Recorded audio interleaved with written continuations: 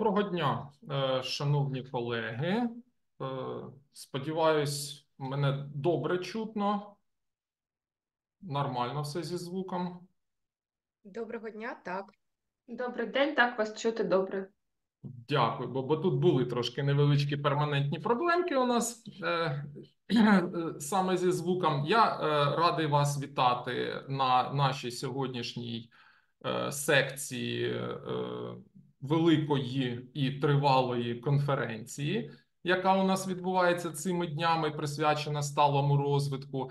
Е, У нас сьогодні тут зібрані учасники, доповіді яких стосувались або ж використання природних ресурсів, або е, сталому транспортуванню, да, тобто е, сталому розвитку в галузі транспорту. Сьогодні модерувати нашу зустріч тут з вами буду я, Нечипоренко Павло Павлович. Е, Відповідно, е, доцент кафедри хімії Криворізького державного педагогічного університету. І е, сьогодні з вами будемо спілкуватися і е, заслухаємо низку дуже цікавих доповідей. Е, Одразу скажу, що якщо е, раптом е, будуть якісь технічні проблеми, то прошу тоді повідомляти в чаті. От організована наша конференція сьогодні таким чином, що ми слухаємо доповідь, яка у формі відеозапису. Ну і потім безпосередньо переходимо до обговорення, до дискусії, до питань.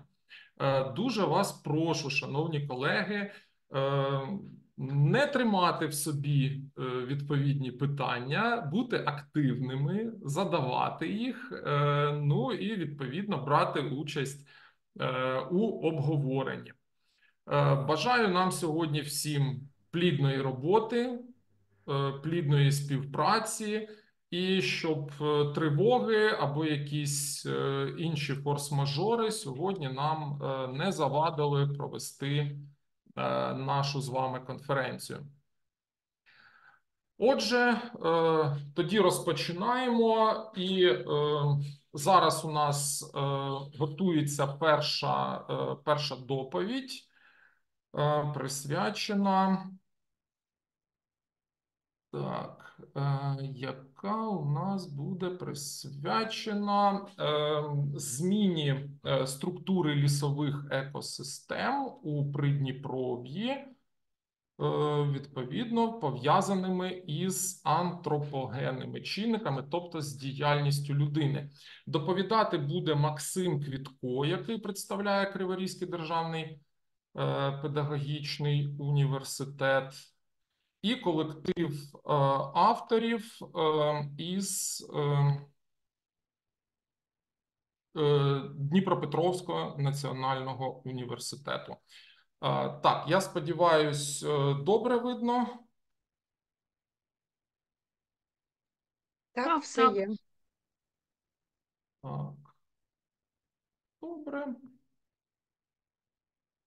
Так. Значить, Dear conference participants, let me present a report to you, assessment of changes in the structure of the forest ecosystems, for example, uh, sanitary woody plantation in the steep Dnipro.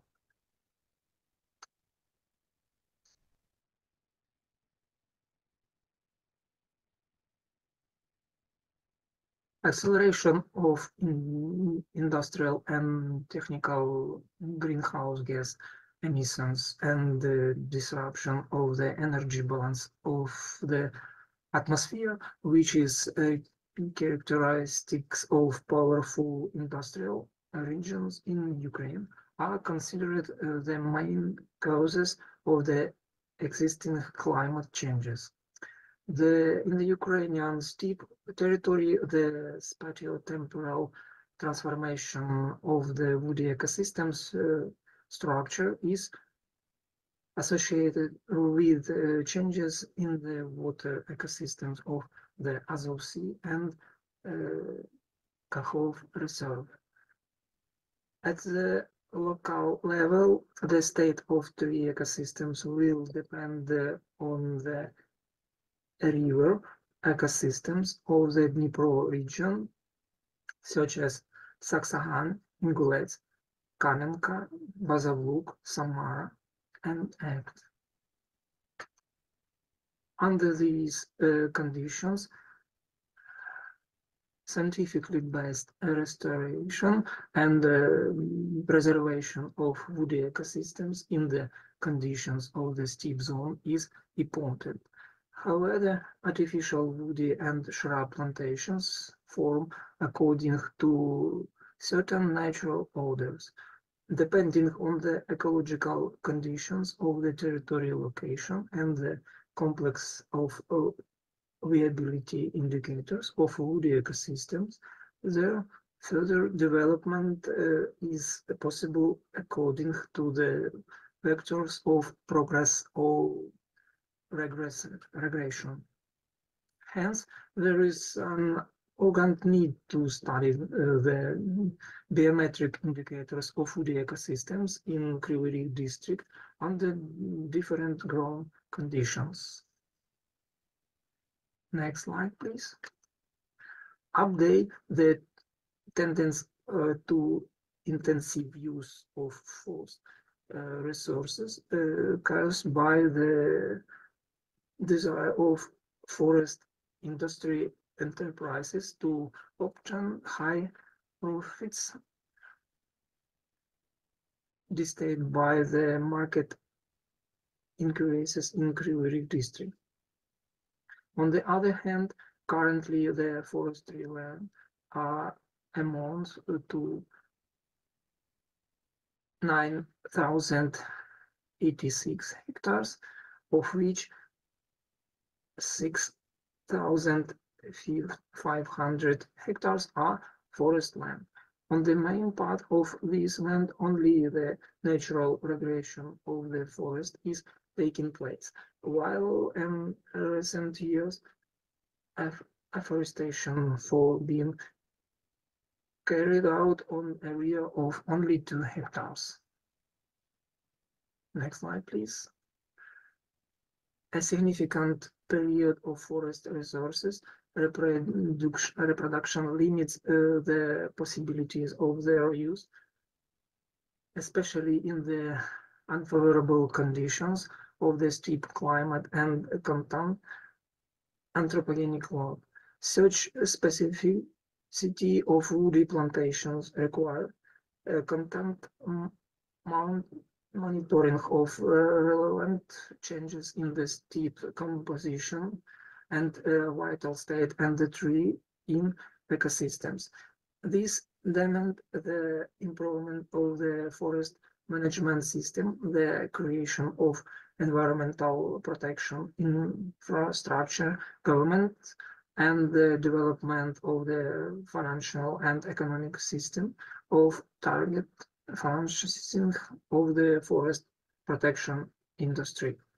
The work aim is evaluating the changes in the structure of forest ecosystems using the example of dust protection and water protection sanitary wood plantations, analyze the vital state of artificial woody plantations and uh, the stability of the dominant tree representatives caused by the stress factors of anthropogenic load, industrial, residential, nature and the region area climate for further improvement of the forest resources management system and governments of nature protection activities in the ecological conditions of the Dnipro steppe in industrial district. Next slide, please. Kryvyi Rih region uh, district is a territory divisions of the land uh, geographical zone in Ukraine. The district is located in the southeast of the central part of Ukraine. More than 19% of its area is administratively located in the southwest and west part of the Dnipropetrovsk region. In this slide, we can see figure uh, location of study areas. A green point is a control points And the yellow point, it's a sanitary protective artificial woody plantations. Next slide, please. Woody ecosystems uh, that are in favorable ecological conditions in relation to the city of Kryvyi Rih area are represented by the natural stand of the Hurivka forest, uh, village forest, uh, whatever village forest, Tarasivka village forest. They were formed with the domin- dominance of Quercus robur, the estimated age of which is 118 years ago. Next slide, please. Sanitary dust protection and noise protection woody plantations are of artificial origin, 19 years old and located in the zone of unfavorable ecological conditions represented by tree plantations of the urban and sanitary protection woody belt. The woody plantations are dominated by Quercus robur, Fraxinus excelsa, Acer negundo, and occasionally Ulmus laevis. It should also be noted that the edaphic conditions are characterized by a low level of moisture and very significant aerogenic pollution due to the closeness of the territory to the city's mining and metallurgical enterprises. Next slide, please. The woody ecosystem's vitality was investigated and measured by search indicators of wood as the area of tree plantation, plant stock of wood, age structure of wood, distribution of diameters of tree trunks, presence of drains, composition of tree species and consequences of harmful effects of environmental agents. Next slide, please.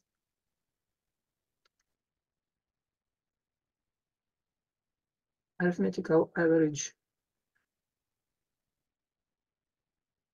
considered by specialists uh, to be the main characteristics of the statistical population of all taxa in the areas reflecting the level in order to determine the fluctuation of varieties in the plant um, diversity. This statistical Uh, indicators in our studies took into account not only the visual average indicators of woody and shrub ecosystems, but also the characteristic of each individual plant of the site. Next slide, please. The analysis of uh, dendrometric characteristics showed that the optimal level of is observed in the natural ecosystems in of Hurivka village forest, Tarasivka village forest, and woody ecosystems of the Volove village forest.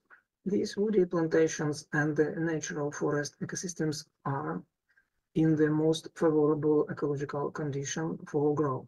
The fermented ecosystems are characterized by fully formed the vertical structure of the tree stem. The dynamics of the indicators of tree vitality are calculated from 2050 to 2020. In general, indicators of the current state of the natural phytocoenosis of the Hurivka village forest are optimal and can serve as a control in further research. Next slide, please. In the, this slide, we can see table one, indicators of the woody plantations, structure, organization. These include density of wood of plot, wood density in the ecosystem, height of wood, diameter of the trunk of wood. Next slide, please. In sanitary dust absorbing and noise protection tree and shrub plantations, the vertical structure of the woody ecosystems in these areas is determined by the well-formed first and second tiers and the underdeveloped third tier, as well as the practically absent shrub tier. There is almost no grass level in the areas. Next slide, please. In this slide, we can see figure uh, the average value of indicators of the structural organization of the state of trees in the experimental plots. You can see diameters of the trunk of wood, height of wood, density of wood on plots. Next slide, please. Therefore, the majority of woody ecosystems uh, support the home states of the population of dominant tree species, preserve the average number of artificial plantations of Kryvyi district. Fluctuations in the number of woody and shrub plants depend on a number of environmental factors, the speed of tree recovery during and removal, invasion of aggressive species, for example, such as Acer nibundo, Robinia pseudoacacia, Acer campestre, and act. Such factors determine the direction of the further development of an individual woody plant and affect the growth of wood, the level of die-off, invasion of aggressive tree species, and changes in the species composition of the ecosystem. Next slide.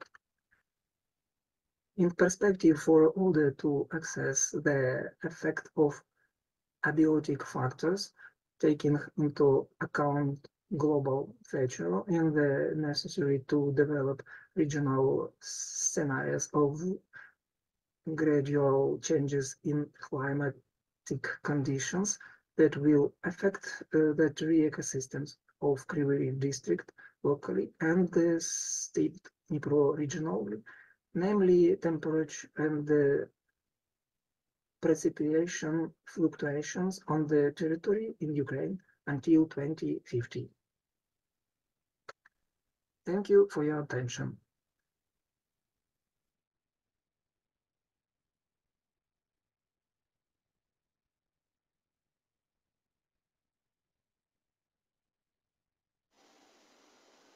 Добре, у мене таке питання. От озеленення Криворіжжя ведеться за державною програмою або це місцева програма, локальна? Так, е, дякую за запитання. Е, Ну, на даний е, час є регіональні програми держбюджетні, які забезпечують озеленення Дніпропетровської області, але на Криворіжжі йде за рахунок частково, частково місцевого бюджету, ну там дуже невелика кількість. Тобто це як ми, е, як нам відомо, то тільки частково е, державний бюджет, е, обласний і, і місцевий. Але кількості зовсім, невеликі. місцеві. А який тип дерев преобладає? Береза, дуби, чи явори? В, озелененні, е, в озелененні в основному е, зараз е, ну, в планах озеленення це кверкус був і деякі породи рабіння псевдоакація. Ну, це пов'язано в основному з озелененням техногенних ландшафтів. Е, е, А вже урбаністичні території, вони там, ну, відповідно, е, озеленення проводяться за місцевими якимись програмами. А, а санітарне прореження робиться? От насчет санітарного прореження, тут взагалі питання цікаве. На території, на території зелених насаджень міста Кривого Рогу проводиться е, ну, останні е, там 3, роки майже не проводиться е, на території е, відвалів або зелене, е, зелених захисних зон. Е, Взагалі е, ми не відмічали ніяких санітарних е, виробок, а на території парків там більш ос- особливо у зв'язку з останніми подіями в е, випадінні, так як е, кліматичне явище е, обмороження було, і в зв'язку з цим е, було в останній рок, 2024, е, да, спостерігалася е, вирубка на території парків. А, Ну, а от зелені захисні зони там майже не проводиться. І там і менше постраждали, до речі, від, е, от, е, від випадіння е, зелені насадження. Добре, дякую. Так, дякую за запитання. Це активно включились в роботу. Так, Прямо одразу Максима Олександровича засипали питаннями. Так, шановні колеги, чи будуть іще якісь запитання до доповідача?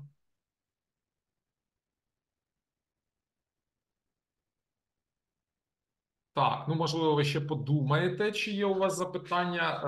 Е, поки що я задам Максиму Олександровичу.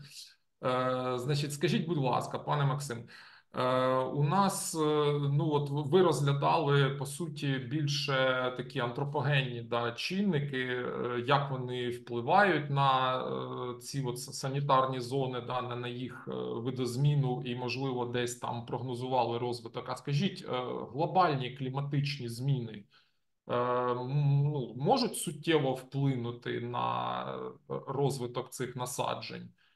Ну, тому що така рання весна, наприклад, як в цьому році, ну, якщо вона буде повторюватись надалі, да, то есть от зміна вегетаційних оцих всіх періодів, е, це може суттєво вплинути?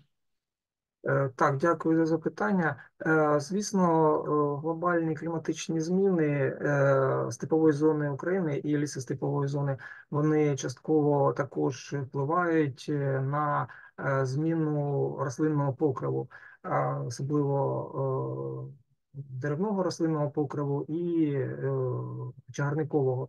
Ну, також, е, відповідно, е, арідний клімат, відповідно, і зміни фаз в рослинності ну, негативно можуть впливати на деякі види.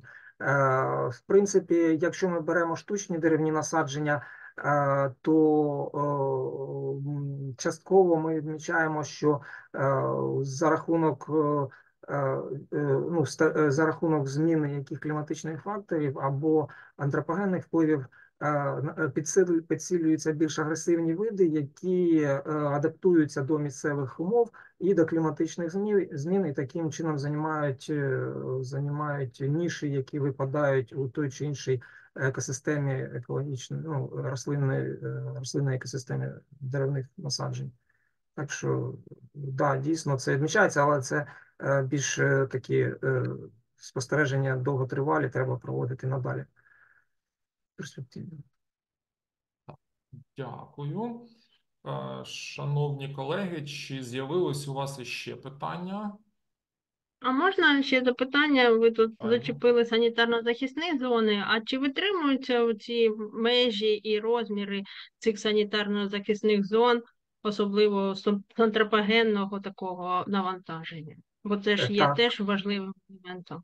Так, так, дякую за запитання. Да, дійсно, в Кривому Розі е, відповідно до, до держстандартів і озеленення, і санітарних умов підприємств закладалися і, і, е, і дійсно е, виконуються всі норми по забезпеченню підтримки саме розмірів е, і густини, ну, густини насадження вона коригується самостійно, але от розмірів і чисельності санітарних зон, да, дійсно е, на території крового е, підтримується, і це закладалося ще там 60-70 роки, але зараз е, ми спостерігаємо, що продовжується.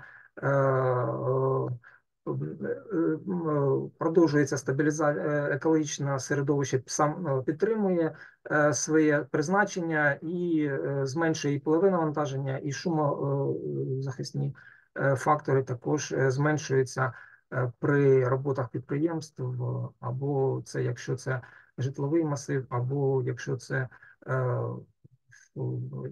лісозахисні насадження, е, які призначені для е, водозахисних е, ну, територій для водозахисних призначень. Так що да, підтримується. Дякую.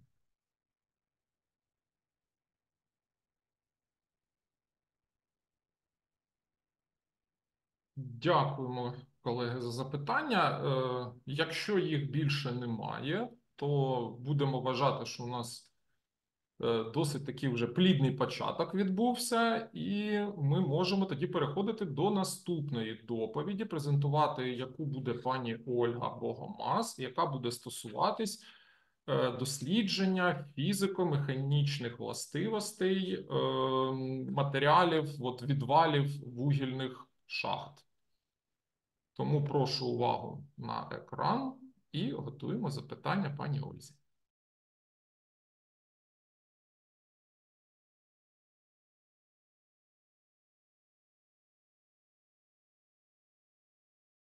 Participants, my name is Olga Bahamas.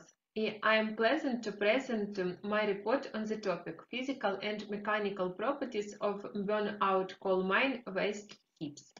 One of the most important environmental issues in the mining industry is the problem of managing soil waste from the mining industry. According to statistical data, before the start of full-scale Russian-Ukrainian war, there was a tendency in Ukraine to increase the volumes of solid waste generated at mining industry enterprises. Over the last uh, almost two years, the volume of solid waste uh, generated has probably decreased due to a reduction in the number of um, coal mining uh, enterprises operated in the Donetsk and Lugansk region. The low level of utilization and recycling of waste rock results in its significant accumulation on the daily surface in the form of waste rock dumps. Over the past uh, 50 years, over 25 billion tons of mining waste have been accumulated in the coal mine region of Ukraine, occupying thousands of hectares of fertile land. Therefore, the issue of, finding new ways to process, utilize, and reuse burnout waste heaps in order to reduce their technogen impact on the environment becomes relative, relevant. The presence of a porous structure in combination with uh, undissolved properties opens up the possibility of using both burnout and uh, common mine rocks to make composite fertilizers to improve the quality of agriculture degraded soil. To do this, the rock is uh, mixed with an organic component, which can be municipal sewage sludge or water body silt. Studies have shown that the addition of coal industry waste and its uh, mixtures with um, um, municipal sewage sludge and rock wool waste improve soil pH and its uh, occlusion properties. Laboratory studies have uh, confirmed that the creation of a nutrition mixture based on 25 burnout mine rock, 25% uh, river silt, and 50% degraded uh, lumi black soil treated with red California worms allow for 100% um, germinate of uh, plants. Unlike other mm, substrates uh, that did not uh, contain burnout rock. However, the widespread use of burnout mine rock for the manufacture of composite uh, soil requires the study of their physical and uh, chemical properties and deformation characteristics. The purpose of this paper is uh, to evaluate the effect of particle size distribution on the physical and mechanical properties of the burnout waste rock. Samples for the study of rock properties were taken from the non-operational heap of mine number 5-6 of the Mirnograd Vugilya. The largest of the selected pieces were crushed mechanically. After crushing the rock, the resulting particles were separated using laboratory sieves into three fractions. First fraction uh, from uh, 10 to 5, uh, second fraction from 5 to 3, and third fraction from 3 to 1.25 millimeters. To determine the deformation characteristics of the rock in each fraction, four samples were prepared reference without additives, and three samples each with the additional of loamy soil typical for this area with a mass concentration of 10, uh, 20 or 30 and 30 uh, percent. On the first step of research, each rock fraction was um, microscopically examined using a monocular microscope. From the results, it follows that particles with a size of uh, 10 to 3 millimeters are characterized by a flat shape. There are pores, there are no cracks, and there are stepwise folds. Smaller particles are characterized by a round shape, greater porosity, and a higher frequency of cracks and folds. Unlike the 5-3 mm fraction is characterized by sharper edges, which may affect the nature of the deformation process. In the large fraction, the presence of sharp um, protrusions is less uh, pronounced.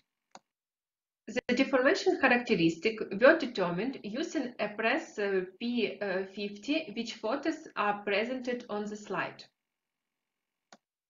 According to the results of first test, it was found that there is a, a, parabolic relationship between the energy expended on the compression of the rock sample and its deformation. It's um, valid for all types of the tested samples. At the beginning of loading, deformation occurs at a high rate. The addition of soil to the fraction did not significantly affect the determination pattern of the samples. For almost all tested samples, the final deformation was about um, uh, 0.02-0.025 meters at a loading energy of uh, 250 joule. The results obtained revealed a certain increase in load resistance when soil powder was added during the initial compressing period. Almost all the lines of the graph characterized the power required for compression located above the line and characteristic of pure rock. This can be explained by the context stress leaving effect due to the filling of voids with powder and uh, therefore in, uh, an increase in the interaction areas of what, uh, rock particles. The destruction of rock particles was observed in most cases at a pressure of um, 1500-1800 kPa, which is um, typical for burnout minestones. After crushing such particles, they are mutual sliding occurred with a slight decrease in the power required for future deformation. The next wave of particle crushing was observed when the pressure increased to an index approximately equal to uh, 3800 uh, 4000 kilopascal, which is typical for siltstones and sandstones. Subsequent to rate of pressure growth slowed down.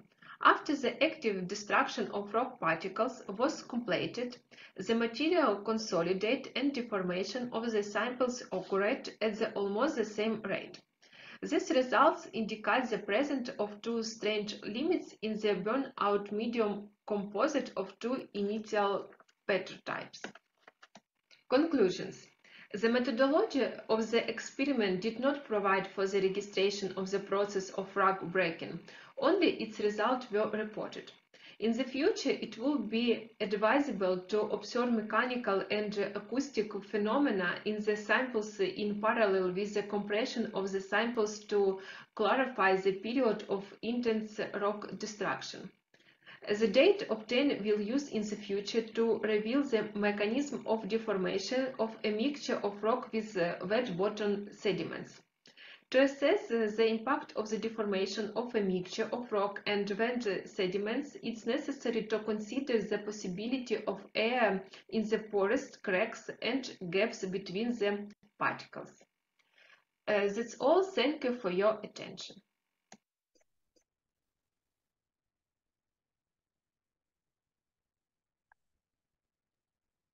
І вам щиро дякуємо за доповідь. Е, Шановні колеги, які будуть запитання?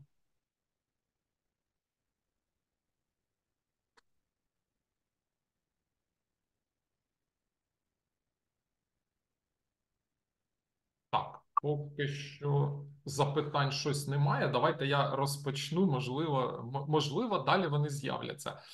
Е, Пані Ольга, скажіть, будь ласка, от у вас е, в анотації до статті було вказано, що ну і під час доповіді також було зазначено, що е, ось ці от фактично відходи да, вугільної промисловості завдяки в тому числі своїй пористій структурі можуть бути використані для поліпшення якості сільськогосподарських та техногенно порушених чи деградованих ґрунтів. Е, Тобто е, вони будуть поліпшувати механічний склад. Але питання: а е, що з хімічним складом? Тобто, чи не містять ось ці матеріали якихось ну потенційно небезпечних речовин, які ну вкрай не бажано було б вносити в ґрунти? Е, Дякую вам за запитання. Вибачте, будь ласка, що я без камери, тому що через мобільний інтернет і просто не тягне. Щодо визначення е, небезпечних властивостей, дивіться, перед тим як використовувати породу, обов'язково визначається наявність шкідливих речовин, особливо важких металів. І тільки після того, як не буде буде встановлено, що порода є безпечною, тоді можна використовувати цю породу для виготовлення поживних ґрунтів. Ну, то, тобто, е, воно вже за умовченням було перевірено, да, і, так. і ви далі тільки от е, мех- механічні властивості далі. Так, все І, вірно. і, і тоді в мене ще з'явилось таке друге запитання. Е, ну, можливо, я щось пропустив, е, а, а можливо, е, цього дійсно не було. Е, от інші якісь е, напрямки е, застосування, окрім от поліпшення ґрунтів, є. Тобто, може як наповнювач там в якихось будівельних матеріалах, або може це якраз завдяки пористості може бути сорбентом. Ви над такими напрямками не думали? Я знаю, що існують напрямки використання перегорілої шахтної породи, в тому числі як наповнювач е, для виготовлення різних будівельних матеріалів, для е, конструювання доріг, але ми сконцентрувалися саме на е, виготовленні поживних ґрунтів, тому що цей напрямок є досить новим. Ми вважаємо, що це є перспективним і актуальним, враховуючи ту ступінь деградації ґрунтів, і особливо з початком війни у нас постала така проблема, як засипання вирв від артилерійських снарядів. І ось е, ця суміш, ми також розробили технологію від- відсипання е, ось цих вирв. Вона дозволяє е, е, поліпшити ще й або закрити ще таке питання. З приводу е, тих фізико-механічних властивостей, які ми визначали, в тому числі цей матеріал може бути використаний тими науковцями, які е, розглядають питання використання перегорілої породи задля е, спорудження дорожнього полотна. Тому що певні ми отримали там закономірності, які можуть якось повпливати або поліпшити. Зрозуміло. Тобто, е, стосовно от е, наповнювача, да, це, це вже просто вже давно відомо, да, а ви спеціалізувались на, на, на новому. Е, Ну що ж, дуже цікаво, і ну, переробка будь-яких відходів це завжди актуально, бо людство їх по суті виробляє з кожним роком все більше. Ну а якщо це ще мова йде і про допомогу е, в аграрному секторі, то для нашої держави ну це як ото подвійний бонус. Тому е, бажаю вам успіхів у ваших подальших розробках. І, і колеги, можливо, хтось е, іще якесь питання все ж таки. А можна запитання? Це буде який відсоток від от, дерекон, там, наприклад, скільки можна відсотків переробити? Ви так не досліджували? Дивіться, якщо е, порода е, в териконі відповідає вимогам безпеки, тобто не містить оцих шкідливих речовин, там важких металів, за які ми на початку казали, то можна повністю переробити весь терикон.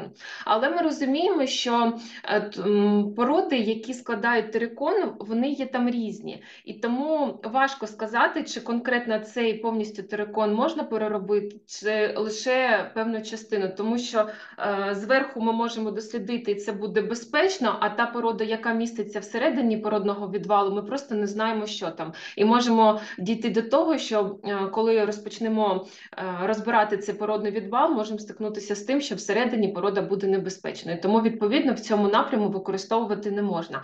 Але можна буде її використовувати знову ж таки, як зазначали е, сьогодні, наприклад, для дорожнього полотна, тому що для будівельної галузі, наскільки мені відомо, її також не можна буде використовувати через те, що знову ж таки. Ці важкі метали вони будуть впливати на стан людей у приміщенні. Так, дякую і за питання, і за відповідь. Е, Так, е, колеги, питань більше нема. Так, якщо немає, то Дякую вам всім. Так, дякуємо вам за роботу. Е, Тоді якраз от е, представник е, е, групи авторів із Харківського національного університету міського господарства, пані Марина Пілічева, якраз яка задавала питання. Зараз е, вона буде презентувати доповідь про їх дослідження. Увага!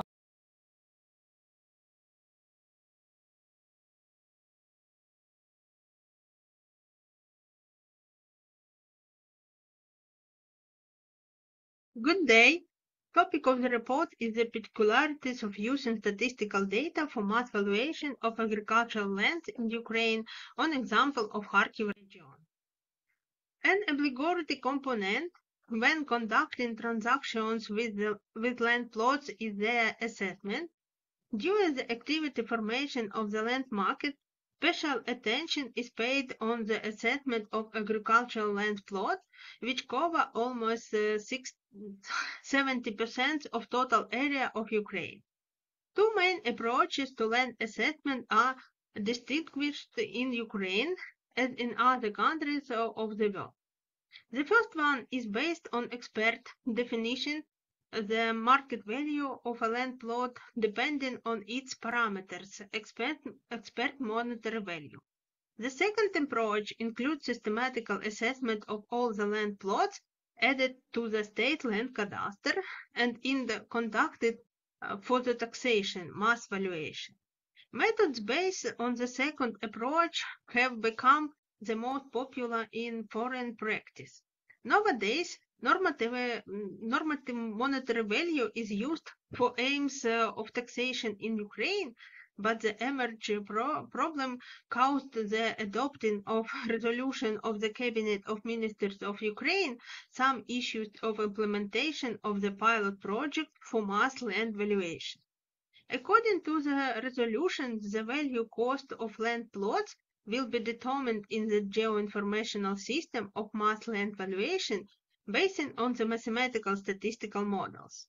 That is why the research, the principles of using statistical data for mass land valuation is crucial issue. Mass valuation for taxation became the subject of the international valuation standards only 2005. Standard considers political, economical, technical uh, prerequisites uh, which are based on object, value, and are necessary for implementation of real estate taxation system. Um, the slide presents a stage of the mass valuation process. The main source of information for land mass valuation are state cadastre registries and informational resources which contain data about the mar market of the land and other real estate. In Ukraine, for accumulation statistical information by the state services of Ukraine, for geodesy, cartography, and cadastre, the list is separate uh, functional monitoring of land re resolutions on the website. Uh, information in the state land cadastre is presented in tabular um, form in Microsoft Excel format. Kharkiv region have been chosen for researching since firstly it's the leader of, in the total area of alienated land plots. Secondary, it's interesting how it's located relating the front line. A part of Kharkiv region is occupied by Russian Federation. Another part is actively engaged in military operations, and the third one has been deoccupied. Statistical information for the period from the 1st of July 2021 until uh, the 31 of December 2023 was used. During this period, um, 38,026 transactions were registered in Kharkiv region. During the stages of processing of initial data, we removed the transaction in which there is no information about normative monetary value, the transaction value is less than normative monetary value, and the area is less than 0.2 hectares. Therefore, uh, only 50% of the total amount have been used uh, for this research. At the first stage, the number of agreement in, in, in districts of Kharkiv region for 2021-2023 was researched. It was determined that the total amount of transactions in 2022 is only 30-45% of previous states. In 2023, the number of agreements in Bohodukhiv and Lozova districts researched the previous number, while the amount of transaction in Krasnograd district increased almost uh, 20.5 times. This is due to the fact that there were no military actions and no frequent uh, missile strikes in the mentioned districts. The number of agreements in Kharkiv, Chuguyev, and Izium districts hasn't returned to, to the previous state and remained at the level of uh, 40-50%, uh, which is uh, caused by military actions and the occupation during 2022 and also by mine contamination and increased land degradation. The same things in the Kupiansk districts, where the number of agreements about land plots is only 10% of previous state, and uh, it's uh, still a front line, and the military action are actively conducted in this area. The price of transaction, market value, and normative monetary value were also studied. The result of research are presented in Figure 2. It was found that in research transactions with agricultural land plots, the transaction price in Kharkiv region in uh, 2021 and 2022 was higher than normative uh, monetary value approximately by 15%, while in 2023 the figure was 20%, which indicates an increase in demand for land. A tendency of increase increasing prices uh, in comparison with the normative monetary value is viewed in Bohodukhiv, Chuguyev, and Kharkiv districts, especially in Kharkiv districts where the prices are on average higher than the normative monetary value by 50%. That is why the main factors of pricing are geographical position of land plots regarding the front line and their normative monetary value. The results of analysis in figure 2 help to determine the valuation zones where the transaction price uh, um, either equals the normative monetary value or is slightly uh, higher. For example, to uh, 50%. The particulars of such territories require using of special criteria based of minimum rates, normative monetary value as the cost for taxation.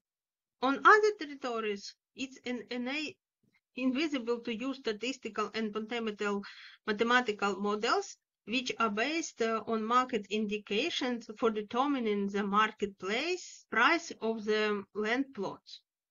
The, the statistical data available on the official site of the State Service of Ukraine for Geodesy, Cartography and Cadastre uh, discovered a number of significant drawbacks uh, such as lack of information and its low validity, which suggests the necessary to improve the processes of collecting, entering, and processing of data for the raising this accuracy and for using them to form the models of the mass valuation.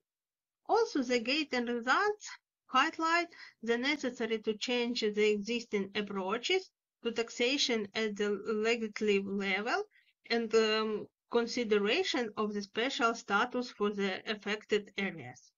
Particular attention should be paid to the fact that the most available statistical models of the value in the world do not take into account the so-called black swans in the evaluation models. There are also no algorithm uh, for quite review of models and actions aimed at minimizing losses in case of the sharp decrease in market data volumes or other change due to the impact of pandemic, natural disasters, or aimed conflict.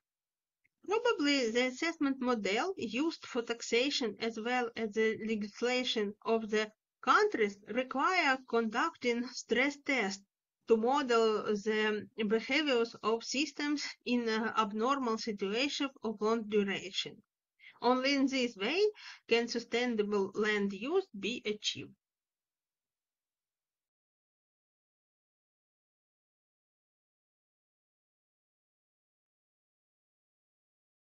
Дякуємо за доповідь. Е, ну, якщо чесно, е, ще 5 років тому, коли ми проводили першу конференцію, ось саме цю ICSF, е, і потерпали від того, що це був період якраз от е, локдауну, і нам доводилось вперше організовувати цю конференцію дистанційно. Знаєте, ми думали, що це була проблема. Е, Зараз, от е, в тому числі ваша доповідь, да, так е, натякає, що то були ще не самі більші проблеми.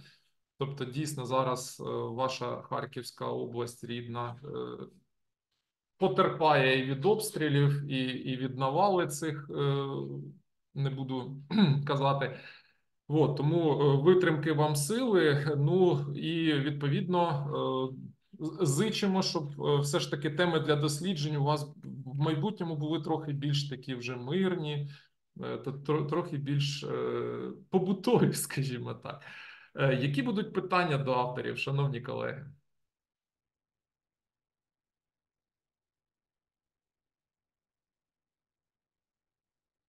Колеги над питаннями поки що думають, а, а в мене одне, одне точно є. Я так зрозумів, що е, в своїй роботі ви е, пропагуєте створення такого от державного загальнодоступного ресурсу е, для от оцінювання земель. Так, це має бути е, безкоштовний для користувачів ресурс. Це щось на кшталт такої дії, тільки ка- кадастр якийсь чи, чи як? Давайте я відповім. Дякую вам, по-перше, Павло, е, велике за е, такі побажання. Так, дійсно дуже актуально. Е, Дивіться, е, ми не то, що ми пропонуємо, це постанова Кабінету міністрів вже прийнята, і держава наразі йде по цьому е, шляху, да, що ми змінюємо підходи, ми змінюємо, е, вбачаємо необхідність да, зміни нормативної оцінки, яка у нас є, та яка фактично зафіксована, до більш гнучкої моделі, да, яка передбачає масове визначення, тобто за допомогою алгоритмів, за допомогою сучасних інформаційних систем, ми масово будемо е, визначати вартісні показники. І е, фактично е, одна з мети нашої статті, да, це е, ще один раз підкреслити необхідність саме такої створення таких систем, тому що е, ну, зробили навіть офіційні статистичні дані. Ми бачимо, що е, ситуація на ринку нерухомості, на ринку землі змінюється дуже швидко. Та і ті існуючі підходи, які у нас є в нормативній грошовій оцінці, зокрема, вони е, не ну просто-напросто не мають сьогодні механізмів діючих да, для врахування цих всіх е, негативних наслідків. Тобто наскільки швидкі ринки, наскільки швидко змінюється у нас обстановка, і через це частина е, тих фермерів, да, які повинні сплачувати за фіксованими тарифами, і при цьому е, об'єктивна ситуація, да, ну, коли ми з ними спілкуємося на тій місцевості, там на Кухнівці, да, і так далі, е, не відповідає тим, скажімо так, ставкам, да, тим податковому навантаженню, яке є. Це дуже зараз велика проблема. Зараз навіть президент, знаєте, приїжджав до Харківської області, обіцяв якісь покращення, пан Зеленський. Ми дуже сподіваємося на те, що такі покращення у нас. Ну, а, а все-таки ось ця е, система вона повинна бути абсолютно відкритою. Тобто всі мають доступ, чи тільки зацікавлені особи, тобто там е, різні служби, податкові, там землевласники, чи в принципі от будь-хто може скористатись, от зайти і подивитись там. Е, Дивіться, на сьогоднішній, на сьогоднішній день є аналог такої системи для об'єктів нерухомості. Да? Тобто є оціночна вартість, яка в модуль фонду державного майна визначає оціночну вартість. Там є певні переваги свої, є певні недоліки. Так, це абсолютно доступна для всіх система, абсолютно прозора. Тобто, фактично, е, ви вносите туди параметри і автоматизовано за допомогою алгоритмів в системі визначається вартість вашої нерухомості, яка вже ну більш-менш повинна бути наближена до тих ринкових реалій, да, а не до якихось там ем, таких незрозумілих орієнтирів, як наразі на сьогоднішній день перебуває НГО. Тобто, тобто це ще додатково такий е, спосіб е, боротьби з певною корупцією, да? тобто з, з тими, хто якимось чином да, ці ціни може збільшувати, зменшувати да, з, метою вигоди. Так? Дуже дуже багато питань, да, тому що ну ви, наприклад, знаєте, що в нас є, наприклад, да, різні види угідь, зокрема рілля, наприклад, там і пасовища стіножаття. Да, там, якщо середня вартість ріллі в Харківській області 32 тисячі гектарів, то середня вартість там пасовища стіножаття це 6 тисяч гривень за гектар. Так? І е, кожен фермер знає, що перетворити е, пасовище в рілля, це треба загнати трактор, він прийдеться, пропаше, і відповідно йому можна використовувати для е, засаджування інших культур. Ну, знести добрива і тому подібне.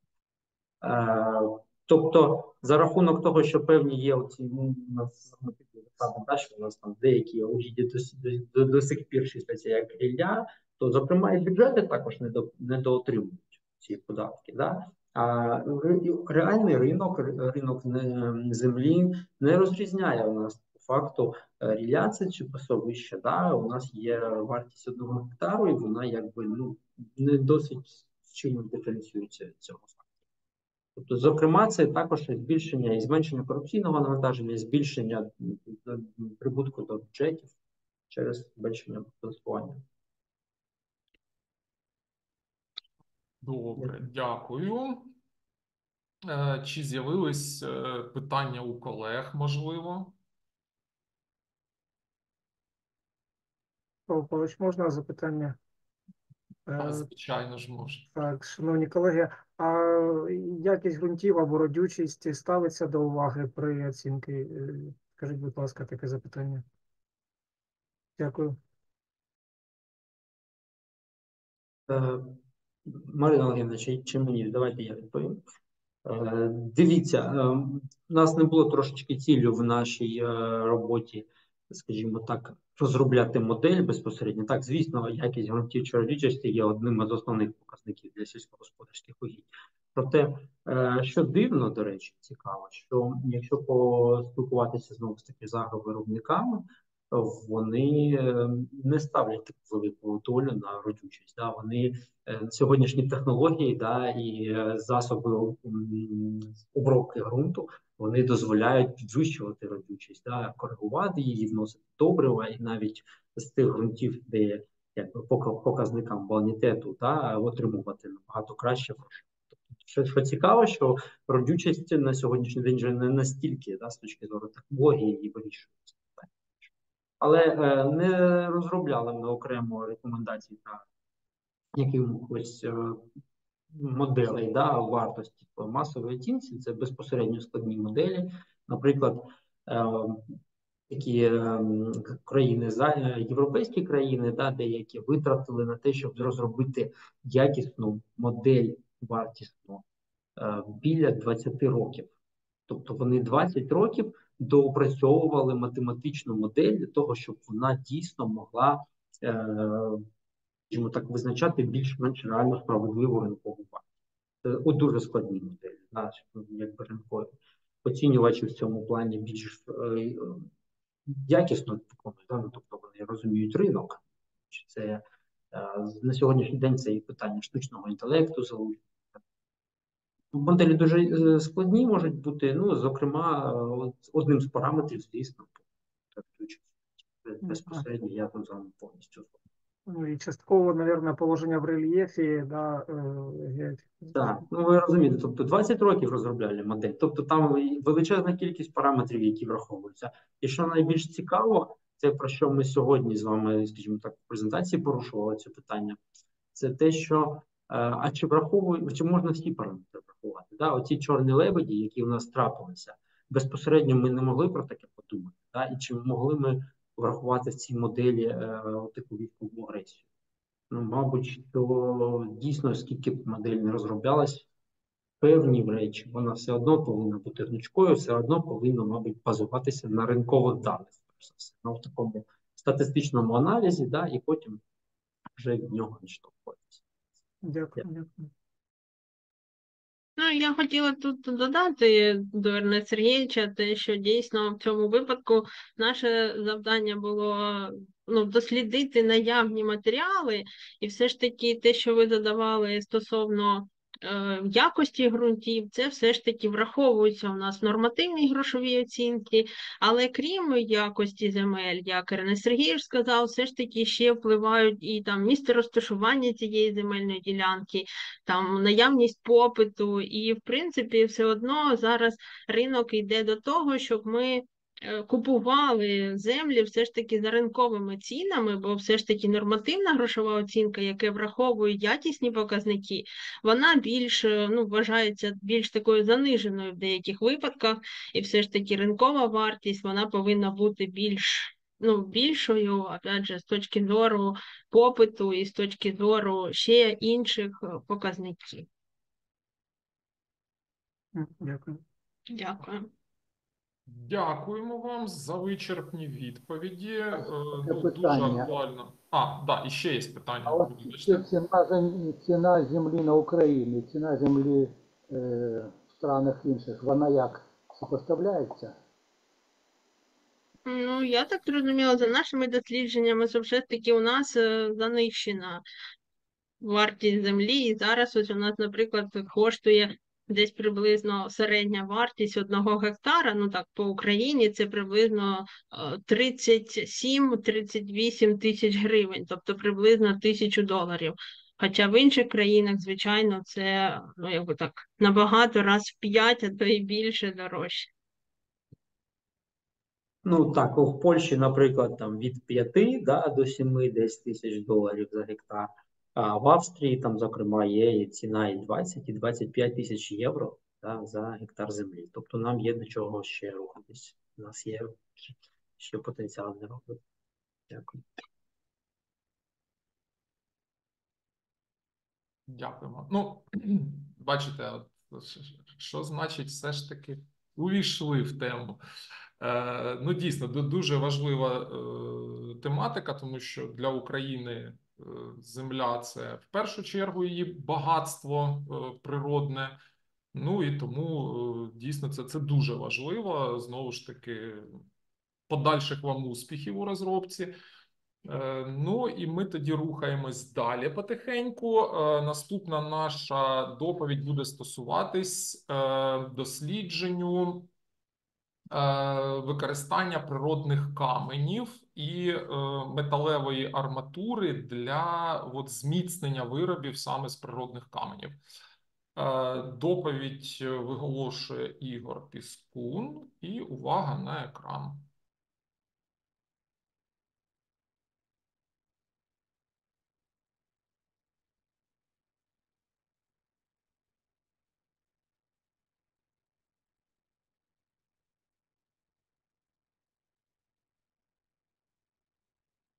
Greetings, distinguished guests. I would like present to your attention a report on the topic Research on the effectiveness of using steel reinforcement for strengthening products made of natural stone. The use of stone products is a crucial element in architectural art because this material not only provides a unique natural appearance, but also offers excellent physical and mechanical characteristics, ensuring durability. In recent years, there has been a noticeable trend towards an increased utilization of stone products, particularly in the context of sustainable construction and development. However, Ukraine, with its territory hosting a significant amount of natural stone suitable for the production of architectural and decorative items, granites, granodiorites, gabbro, labradorites, basalt, sandstone, limestone, etc., holds substantial potential for the development of stone product manufacturing technologies and their utilization in various spheres. The widespread use of products made from natural stone in various aspects of human life is indicative of the leading role of this material in the construction industry and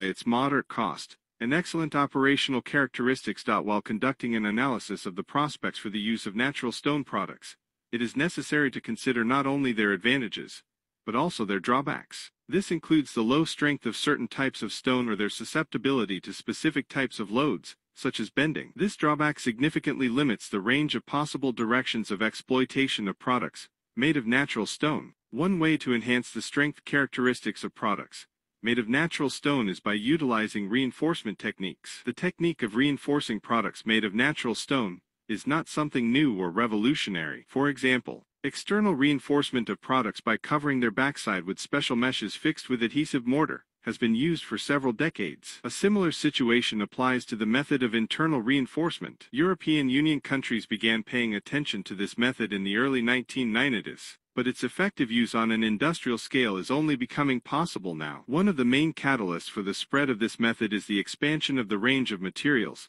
that can be used as reinforcing inserts, including the emergence of entirely new and promising materials from both technological and economic perspectives. The proposed method of reinforcing natural stone products will consist of a number of the following technological processes. Manufacturing the product to the required dimensions and shape, performing marking along which cuts will be made for placing reinforcing elements, making a cut to half the depth of the workpiece or to the depth necessary to place the reinforcing dowel in the cut, cleaning the cut from residual dust, slurry, etc., and degreasing it using special solutions, preparation of fixing mixture, and filling the saw cut with it, placement of the reinforcement in the saw cut filled with fixing mixture, cleaning the surface of the product from excess fixing mixture, storage of samples until the fixing material is completely crystallized, processing the surface with a polishing wheel to provide flatness to the backside of the processed sample. As samples, blanks measuring 600 times 100 times 30 millimeters made from Pakostiv granite were used. The main physical and mechanical characteristics of Pakostiv granite are provided on slide. Pakostiv granite is quite common in the natural stone market in Ukraine. This granite is known for its excellent characteristics,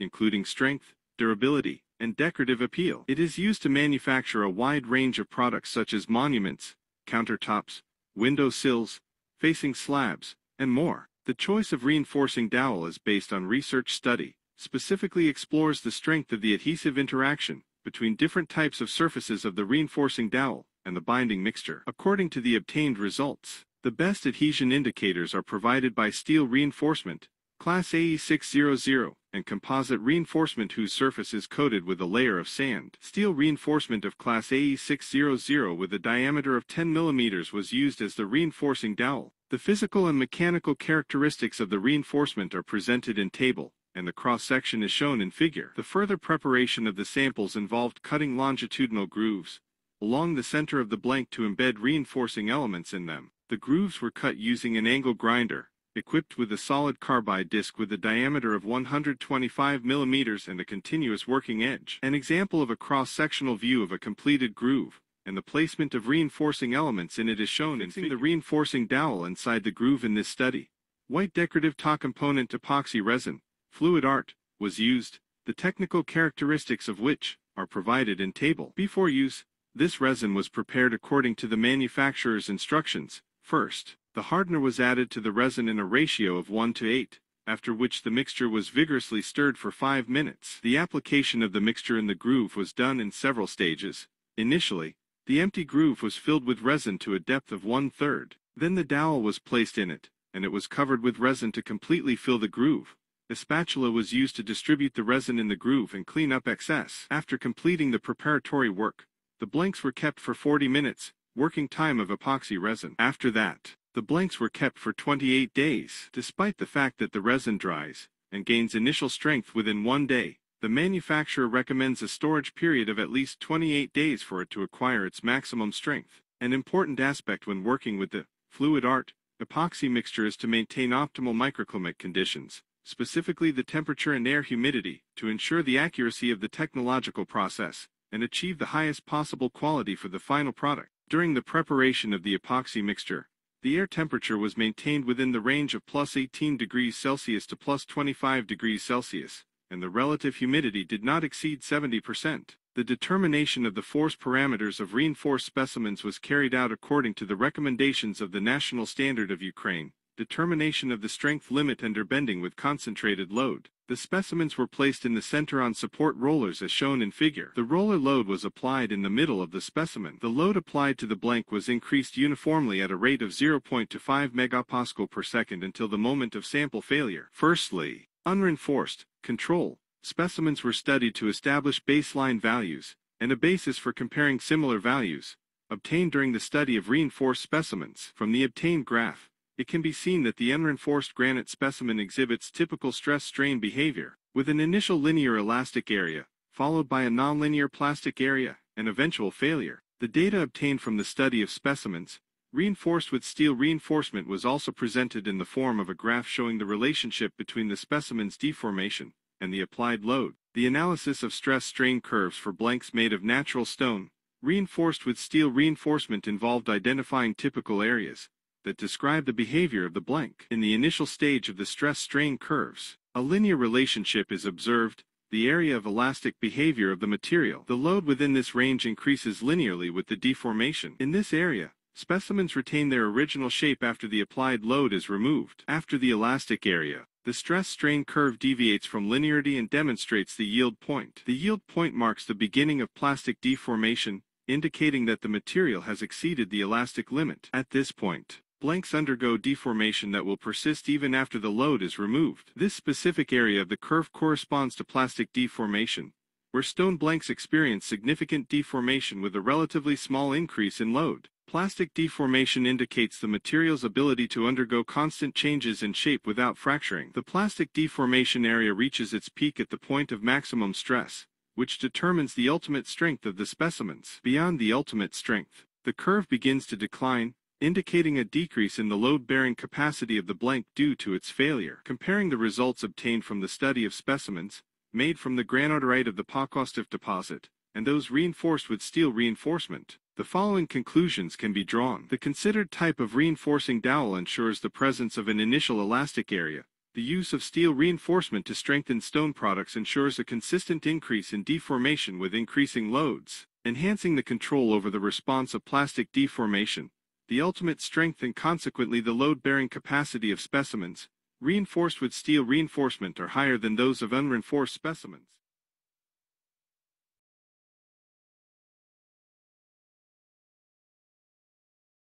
Дякуємо. Так, а в мене питання, чи є е, зараз е, представники авторського колектива, тому що пані Ігора я не бачу серед присутніх. Е, Можливо, є хтось із його співавторів? Чи є кому задавати запитання зараз?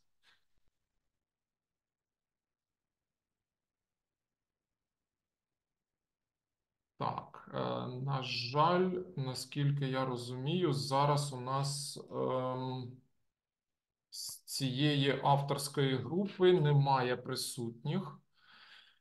Е, Тому, е, шановні колеги, якщо в кого було е, запитання от саме з е, цієї доповіді, саме е, з цієї роботи, будь ласка, напишіть його в чат. Е, Якщо раптом все ж таки з'являться у нас е, автори, е, мало лі зараз які можуть бути причини їх відсутності, я сподіваюся, що у них все добре. Просто, можливо, якісь технічні збої. Можливо, вони приєднаються пізніше і нададуть відповідь. Тому що зараз, якщо, якщо у нас шансів на дискусію нема, то ми не будемо затягувати час. Тому е, давайте домовимось, у кого питання були, напишіть їх, будь ласка, в чат, а потім е, ми, ми, ми ще разочок е, перепровіримо, може, може, все ж таки автори приєднаються до нас. Так, ну була да, дуже цікава доповідь, як, як і в принципі, і, і попередні, але, але от, на жаль, на жаль, не можемо у авторів перепитати. Е, Ну, тоді ми рухаємось далі, і е, наступна також дуже актуальна тема, е, яка буде стосуватись енергетичної безпеки України і е, відповідно моделювання цієї енергетичної безпеки в контексті е, сталого розвитку.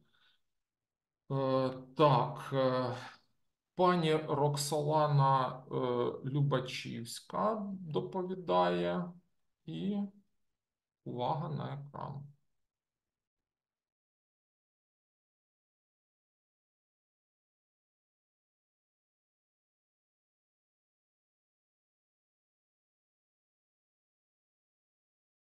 Uh, hello, everyone. I would like to present our research on modeling of the energy security of the country in the context of sustainable development, the case of Ukraine.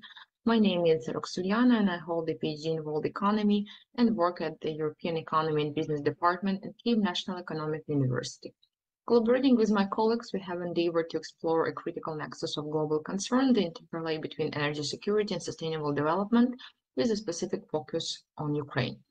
In an era marked by pressing global challenges such as climate change, resource depletion, and geopolitical uh, uncertainty, governments worldwide are grappling with the imperative to recalibrate their energy production frameworks. This imperative transcends more considerations of energy availability and affordability, extending to broader concern of environmental impact, economic viability, and social equity. Um, the structure of this presentation includes the relevance of the energy security, the concept of energy security, materials, methods, starting hypothesis, results, and conclusions. So, uh, as we delve deeper into our research, it's imperative to outline the key questions that have guided our inquiry. Uh, how does sustainable development help Ukraine um, ensure Ukraine's energy security? What factors have the greatest impact on Ukraine's energy security in the context of sustainable development? How to balance the use of renewable energy and traditional energy sources to ensure sustainable development. Um, modeling energy security requires a holistic strategy that considers everything from technical progress and the use of renewable energy sources to geopolitical considerations and economic stability. Ukraine, which has a diverse set of energy resources, has traditionally relied on a complex matrix of fossil fuels to supply its energy requirements. However, in recent years, there has been a greater emphasis on diversifying the energy portfolio, improving energy efficiency, and reducing environmental effects.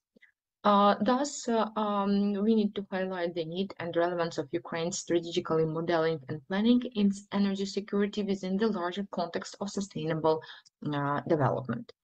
Energy security can be viewed as a component of national security, allowing for an assessment of, of the vulnerability of the physical infrastructure that transmits energy.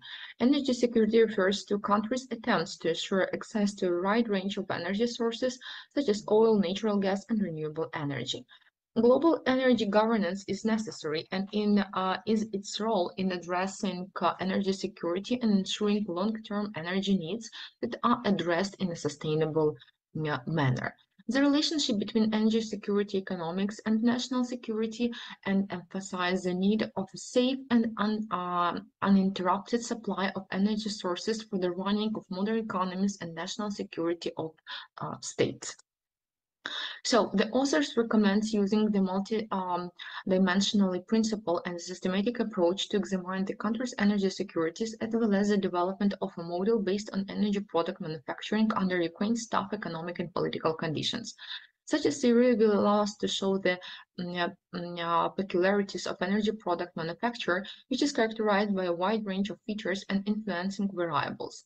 Such factors or variables can be classified as either endogenous or exogenous.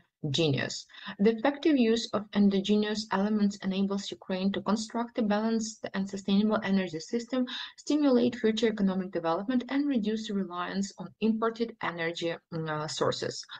Um, Endogenous elements in Ukraine's energy product production include internal resources and potentials that can be exploited to generate electricity and other energy products. The key endogenous elements in the context include a wide range of energy sources and technologies, including coal, natural gas, nuclear power, renewable energy sources, hydropower, energy efficiency, and the use of modern technologies. So um, to model the country's energy security based on energy product production, we will use the eViews application and the uh, multi-rate regression model is uh, uh, presented uh, here. Uh, based on the selected most significant factors, a correlation matrix was constructed that showed the close relationship between the selected factors, where production of all energy products, uh, uh, import of energy sources, total uh, energy supply, total final consumption are included. The relationship between the selected factors is positive and strong, as we can see uh, on our uh, results. The results of further regression analysis are given in uh, this uh, table, which makes it possible to assess the impact of selected variables on the production of all energy products in Ukraine using data for the 12-year period from 2020, uh, 2022, 2010 to 2021. Upon testing the autocorrelation model and assessing the presence of heterodicity, along with evaluating the quality of selected factors in the model, several key findings emerges. Firstly, the analysis indicates the absence of autocorrelation of both first and second order, thereby allowing for the acceptance of the null hypothesis. This observation underscores the robustness of the model in capturing and accounting the temporal dependencies with the data. Secondly, the model underwent rigorous testing for heterodicity using a range of established tests uh, that are presented on this uh, slide. Um, uh, upon testing the model of for normality of uh, residuals, explanatory power, and predictive quality, several key observations also emerged that you can review or uh, also find more uh, about it in our um, article. So in conclusion, um, our analysis how, uh, has uh, culminated in the formulation of uh, statistically significant equation with a high coefficient of determination, indicating a robust um, uh, predictive capacity. The multiple regression model developed and tested successfully exhibits several key attributes validating uh, its utility and reliability for forecasting future um, outcomes. Uh, in conclusion, our analysis of Ukraine's energy security landscape, uh, mm, uh, summarized with the backdrop uh, of the ongoing war in the region, has yielded several key insights. Through the formulation of a comprehensive model centered on energy production, we have unearthed critical findings that bear, bear significant implications for the nation's energy resilience and sustainable development uh, direction.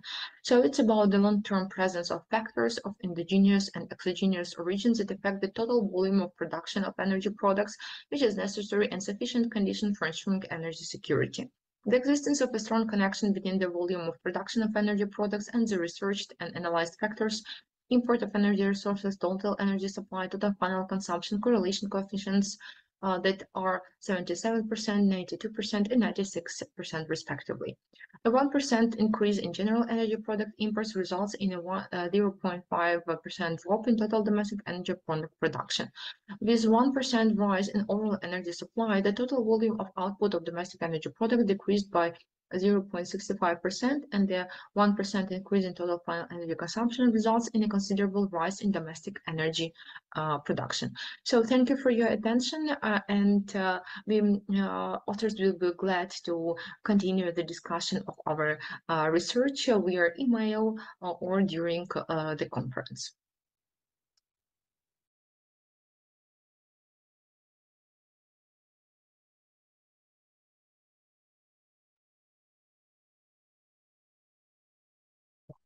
Шановні колеги, чи є присутні е, з авторського колективу е, цієї доповіді зараз у нас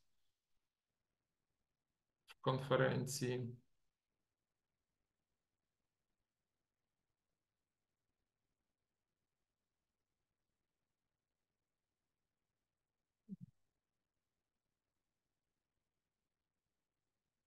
Так, якісь, якісь у нас, очевидно, про проблеми вже з другою доповіддю поспіль виходить. Е,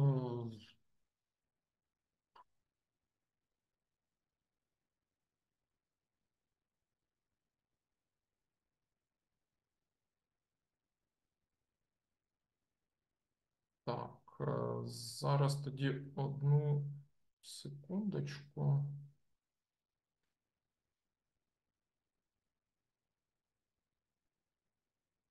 Здається, автори писали.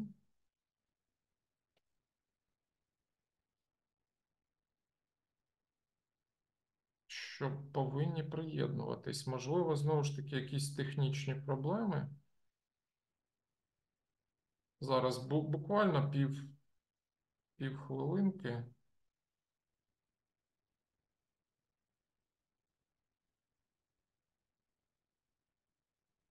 Тому що про, про енергетичну безпеку хотілося би порозпитувати фахівців. Дуже болюче наразі питання е, і, і дуже важливе, тому хотілося б такі почути, побачити. Ну, якщо зараз протягом найближчої хвилини автори не доєднаються, значить у них проблеми, причому цілком можливо якраз з енергетичною безпекою. А, ні. От пані Роксоляна і приєдналась, е, дочекалась. Так, е, доброго дня.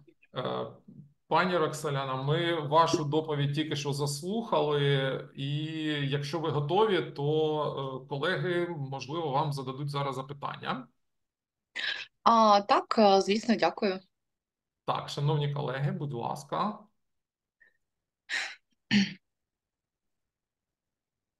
Так. Колеги знову ж таки чекають, поки дискусія почнеться без них, то тому я е, з вашого дозволу її розпочну. Е, в мене, ну як у нефахівця, в принципі, то в енергосистемах е, все ж таки виникло таке запитання. От ваша розроблена модель да, от енергобезпеки України. Так. Е, Як вона може, ну чи суттєво вона може змінитись в зв'язку з тим, що ну, от, наприклад, буде післявоєнне відновлення, е, Так. у нас цілком можливо будуть якісь нові технології з'являться, нові енергетичні е, відповідні об'єкти. Тобто, це доведеться вам це заново переробляти, чи як? А, е, Нам переробляти дослідження заново ви маєте на увазі. Я скажу е, так, дякую за ваше запитання. Відповідати потрібно українською чи англійською, як у вас працює? Е, Ми, в принципі, можемо і англійською. У нас там є перекладач такий хитрий, але оскільки іноземних гостей Ага, немає, всі, українські, тому, тому ми можемо поспілкуватися рідною. Добре, дякую. Е, Дякую за уточнення. Варто зазначити, що післявоєнна відбудова і обговорення її концепції вже розпочалося зараз.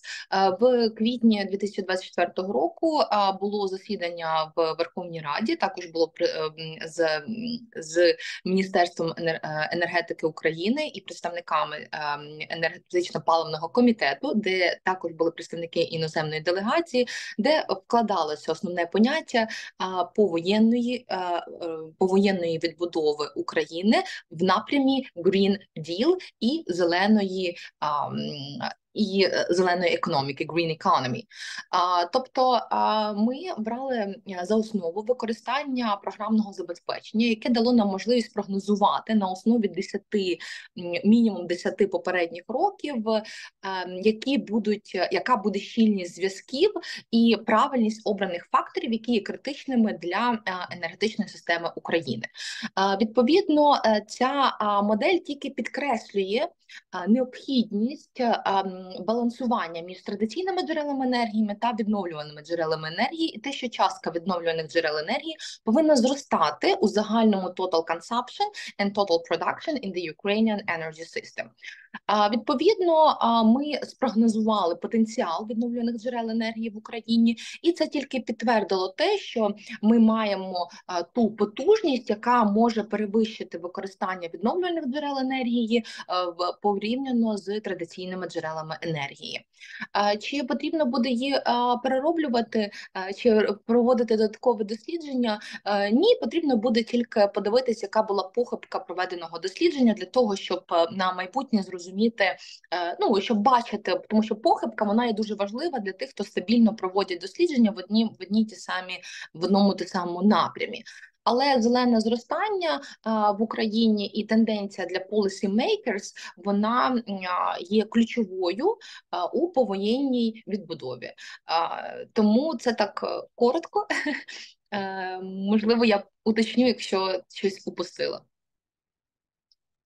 Ні, в цілому зрозуміло. Тобто то буде уточнення моделі, але не глобальна якась там переробка. Ні, тільки А- на похибку буде проведено аналіз, наскільки було здійснена похибка в дослідженні.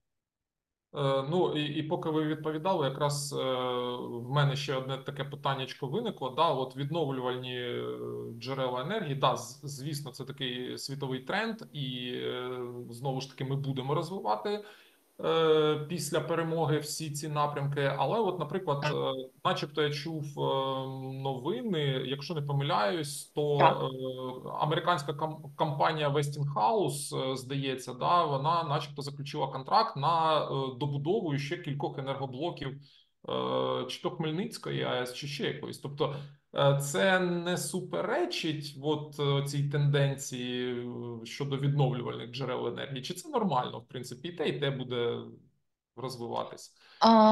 Це є поняття альтернативних джерел енергії та відновлюваних джерел енергії.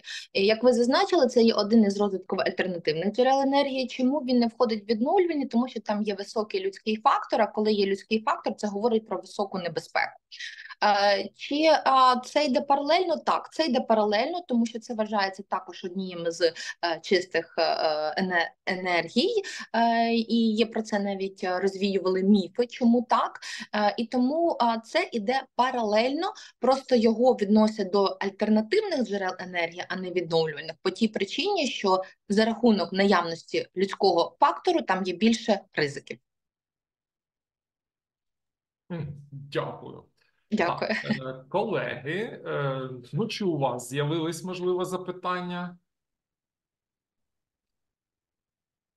Мені начебто пан Віктор хотів щось спитати, але я, можливо...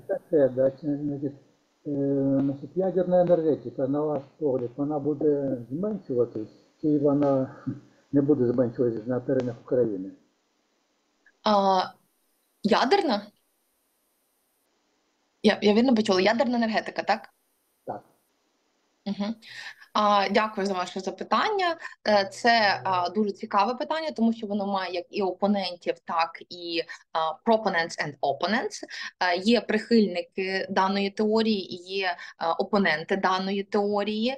А, Тому м, е, це звучало так, як, е, як, як я саме вважаю, чи буде. е, Я, я могла б сказати так, щоб е, я підтримувала особисто це її зменшення, але тенденції в енергетиці показують, що вона все рівно буде розвиватися і буде збільшення. Тому а, якось так. Ви розробили математичну модель, я так зрозумів, да?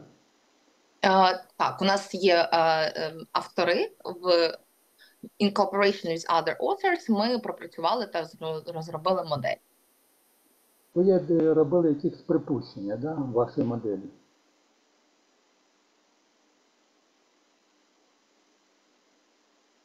Значить, при розробці моделі ви, мабуть, зробили якісь припущення. Так чи ні? І наскільки критерії адекватності вашої моделі, наскільки вона адекватна реальній ситуації? Мене не чути, да?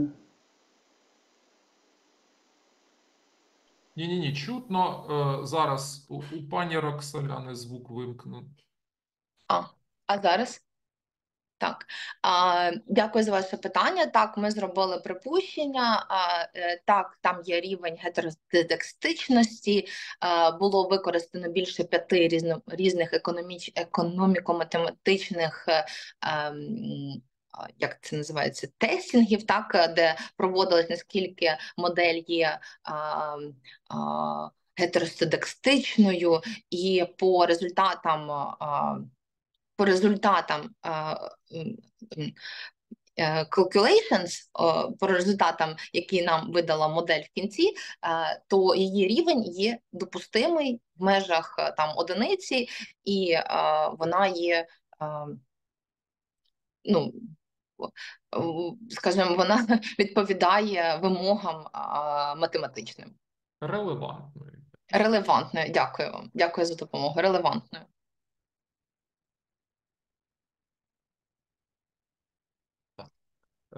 Чи є ще запитання?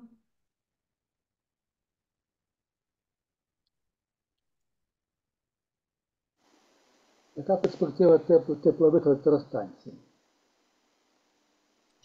Е, Що ще теплових електростанцій? Перспектива. Перспектива теплових електро... Ну, мається на увазі, мабуть, е, розвитку, да, там, збільшення цього сектору. Розвитку, чи треба їх відновлювати, чи встановлювати треба, або не треба їх встановлювати? Ключове взагалі, що ключовим трендом на майбутнє це є енергоефективність будівель, особливо будівель, які знаходяться на державному обліку, і будівель, які розпочинають своє будівництво. Відповідно, енергоефективність будівель воно передбачає використання. Е, е, використання зелених технологій, використання теплових е, насосів, теплових станцій, використання сонячних панелей, використання певного там є певні обмеження щодо вікон і так далі, що дозволить будівлі бути енергоефективним.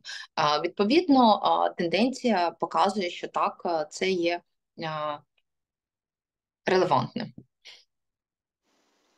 Ну добре, значить, а якщо є підприємство, значить, як це працює цех? Якщо цеху потрібна велика кількість електроенергії, де, де ви її будете брати? Вже А, електроенергія не зможе, не зможе постачати таку кількість електроенергії. Так, тут е, е, тому ми говоримо про балансування. Ще поки жодна країна не змогла досягнути 100% використання відновлених джерел енергії в своєму своїй економіці, включаючи, звісно, індастріал сектор.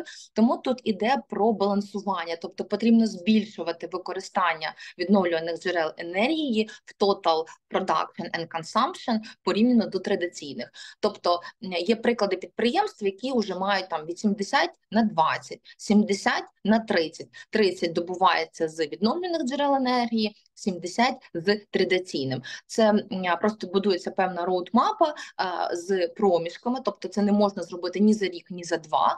Такі ініціативи великих підприємств, які входять в Fortune 500, вони розписані на 20, 30 і 40 років, де з певним інтервалом часу повинно збільшуватись використання відновлюваних джерел енергії. Тому тут про балансування.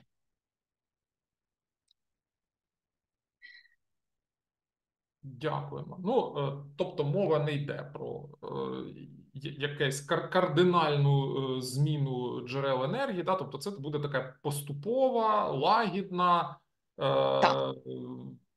як це от лагідне примушування до, до того, щоб е, трошки менше традиційних, трошки більше е, альтернативних.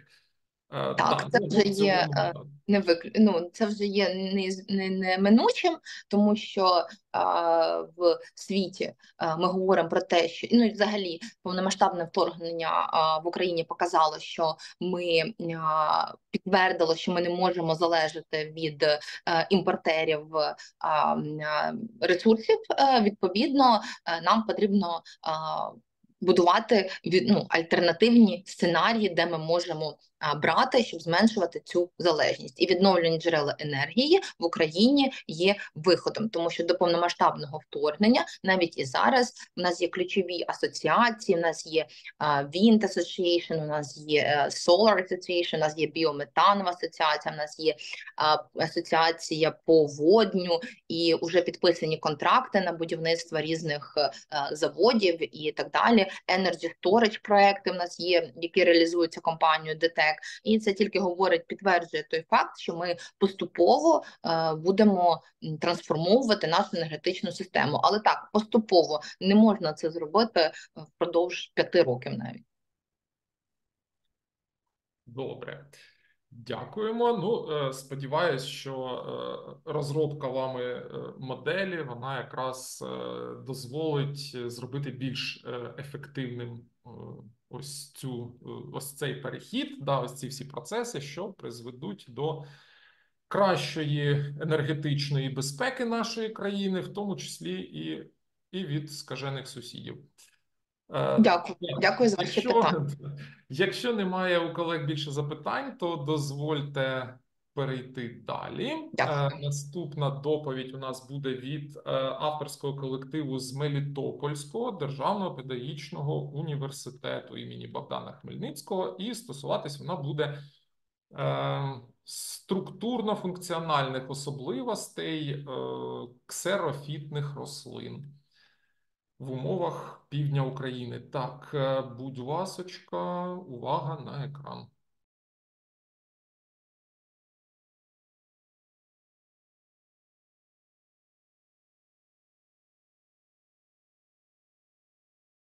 Good afternoon, dear colleagues. Let me introduce to your attention the results of Ukrainian science group on the structural and functional content of xerophytic plants of Elytrigia repens genus.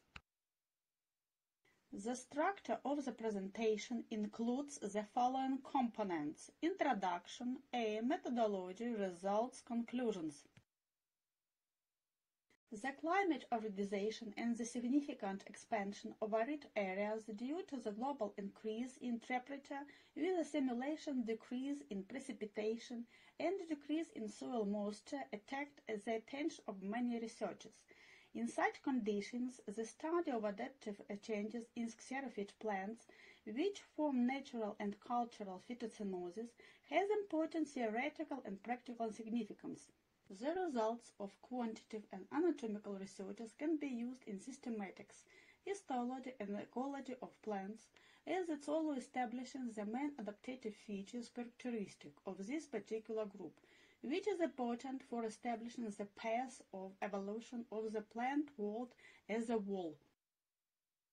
The Melitopol city is a multi-sector industrial center located on the right bank of the once navigable Molochny River, but currently, unfortunately, it is temporarily occupied.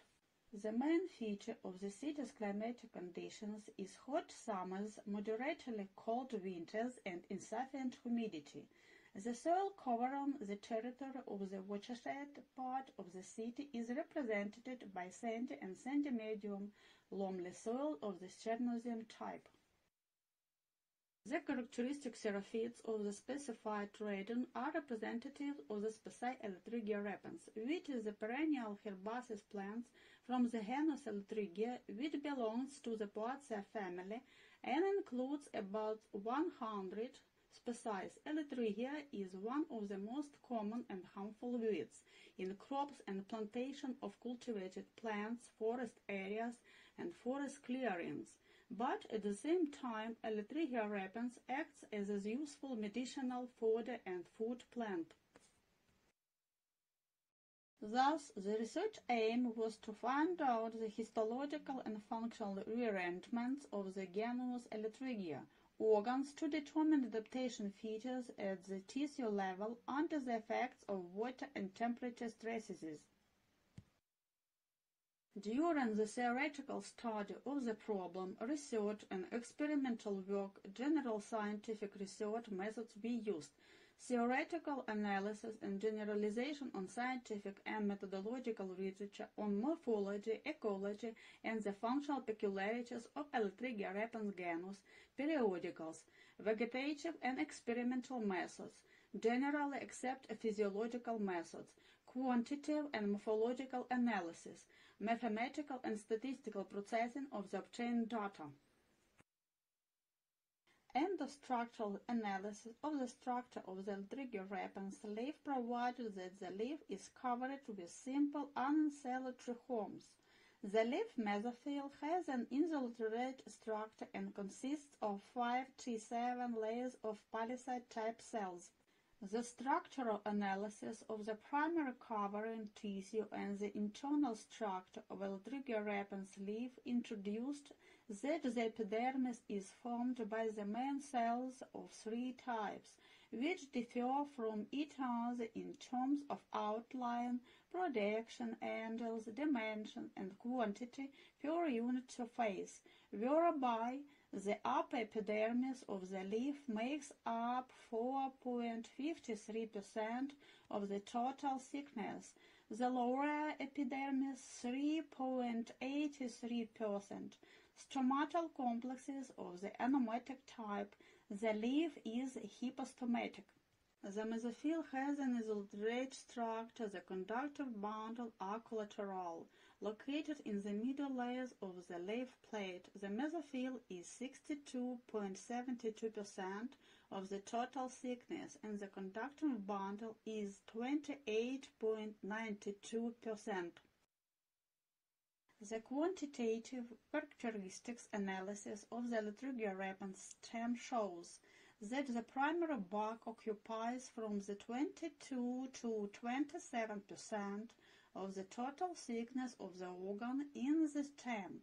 The bark has the smallest value under the inflorescence, but its size steadily increases due to the growth of the parenchyma of the bark.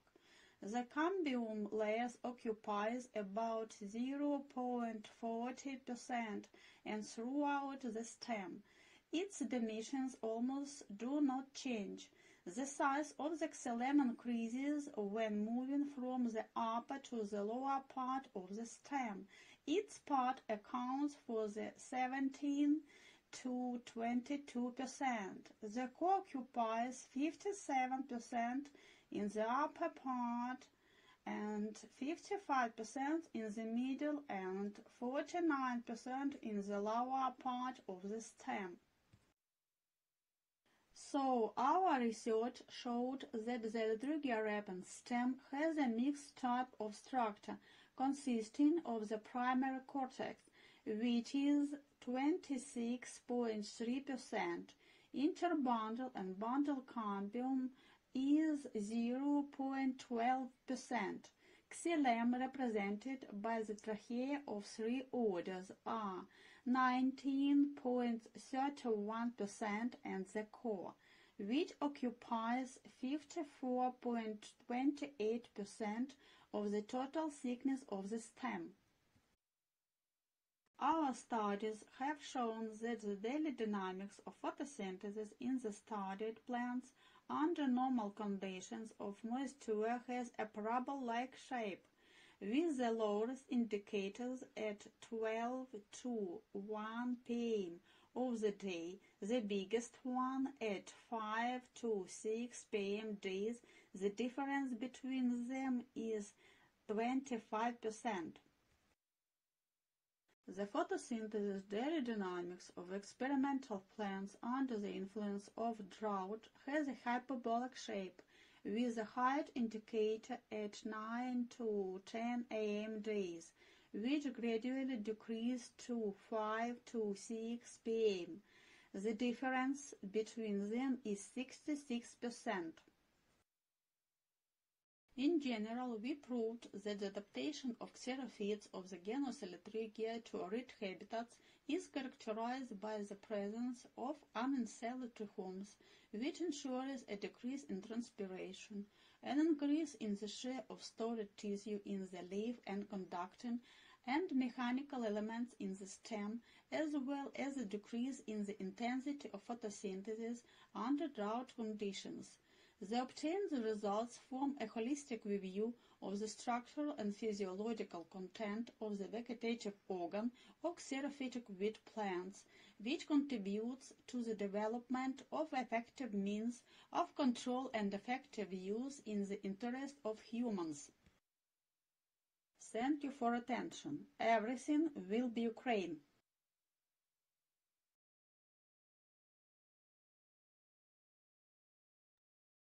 Так, а вже ж, все буде Україна. Дякуємо вам за доповідь. Е, Шановні колеги, які будуть запитання?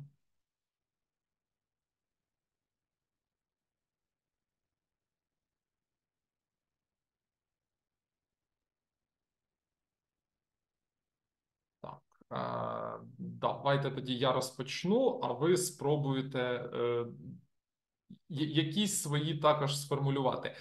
Е, Скажіть, будь ласка, ем, а от ці е, певні такі структурні особливості Elytrigia repens, які ви досліджували, е, чи є можливість, скажімо, за допомогою там, можливо, генної інженерії якось їх е, використати, да, привити, так би мовити, культурним рослинам, щоб вони в умовах посухи е, ну, були більш стійкими, були більш витривалими, більш врожайними? Чи, чи можливо це? Чи Шановні колеги, можна я доповім, як розпочну нашу дискусію? Можна, так? Ну, Відповідати. ми, ми Е, слухаємо. Справа в тому, що, що ті структурні та фізіологічні пристосування вегетативних органів, які були зазначені, звичайно, вони вивчаються для того, щоб краще зрозуміти механізм адаптації і, і потім перенести на культурні рослини при формуванні культурних фітоцинозів. Але це було і також з тією метою. А, наразі у 2021 році а, стояла мета щодо розробки фіторемедіаторів, тобто е, для того, щоб можна було за допомогою фіторемедіації чистити е, агроцинози там або ґрунти саме з цією метою, тому що Elytrigia repens, якщо ми візьмемо українську назву, це перій, і ми знаємо її як, сорні, е, як бур'ян. Хоча вона використовується і з лікувальною метою там, та іншою метою також. Чи відповіла на питання? Е, ну так, в принципі, від- відповіли. Дякую. Е, в мене ще от е, трошки залишки моєї природничо-наукової освіти залишились. От е, те теж пригадалось. Е, ви говорили про інтенсивність фотосинтезу. Е, Ну, по-перше, е, чи можна дізнатись, е, хоча б ну, приблизно так в загальних рисах, яким методом ви досліджували цю інтенсивність? І друге, який у цього нашого пір'ю шлях фотосинтезу? Це 3 чи це 4 як Якщо ми беремо ксерофітну рослину, вона е, має time- type, тобто е, компаративний фотосинтез, який може переключатися з С3 на С4. І якщо у вас є залишки там знань природничих, ви знаєте, що основу е, С4 типу фотосинтезу складає С3 та цикл Кальвіна. Тобто перетворення е, вуглеводного, ну, вуглеводний обмін. А яким е, шляхом ви, яка методика, на чому була заснована от методика визначення інтенсивності саме фотосинтезу? От там, коли ви по Ну, годинам інтенсивність зробили фотосинтезу, як- я, я, роз, я розумію. У нас є удосконалена, удосконалена методика за допомогою каталазної активності. Є такий фермент, це посеред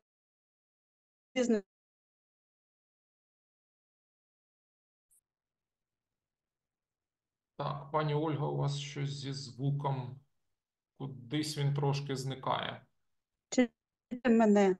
Е, ривочками чутно було е, каталазної Чу- чуєте мене, активності. так? Да, та тепер так. Е, от, а після каталазної активності трошки був такий е, пауза.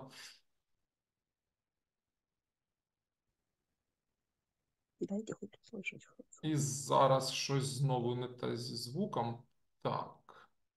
Ну, е, я, в принципі, я, я то сутність зрозумів. На, на, на основі активності ферменту каталази, і, і ми. І ми втратили. Ні, знову з'явилось. Е, так, е, я на своє запитання я відповідь отримав. Шановні колеги, чи будуть у вас ще запитання до пані Ольги? Будь ласочка, задавайте. Бо дуже цікаве спілкування, враховуючи те, де ми знаходимося наразі. Можна Е, Чи, е, чи можна таке запитання? Е, А в яких біотопах брали е, рослинність? Е, Тільки в культурфітоценозах чи і в природних екосистемах? Дякую. У нас були трансекти закладені на території Мелітополя та Мелітопольського району. Тобто це звичайні, е, звичайні трансекти один квадратний метр. І не тільки в культурних ц- ценозах, а природні теж. Дякую.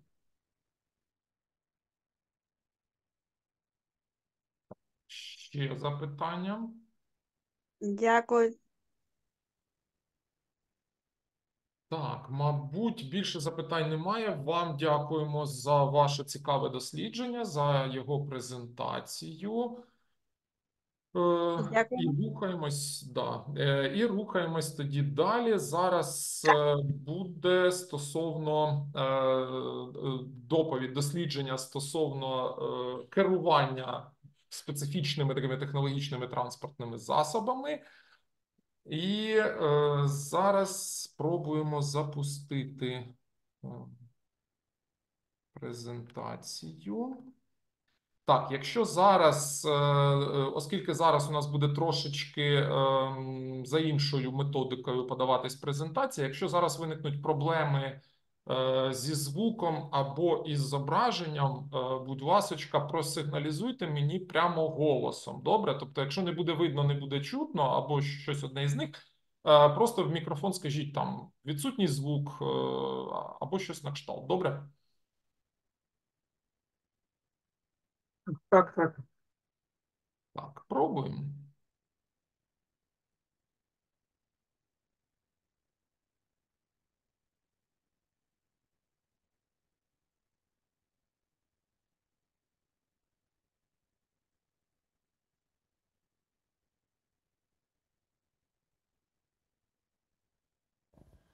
Dear ladies and gentlemen, today I want to present you our research on analysis of prospects and peculiarities of autonomous and cyber-physical systems development for vehicles control at mining enterprises.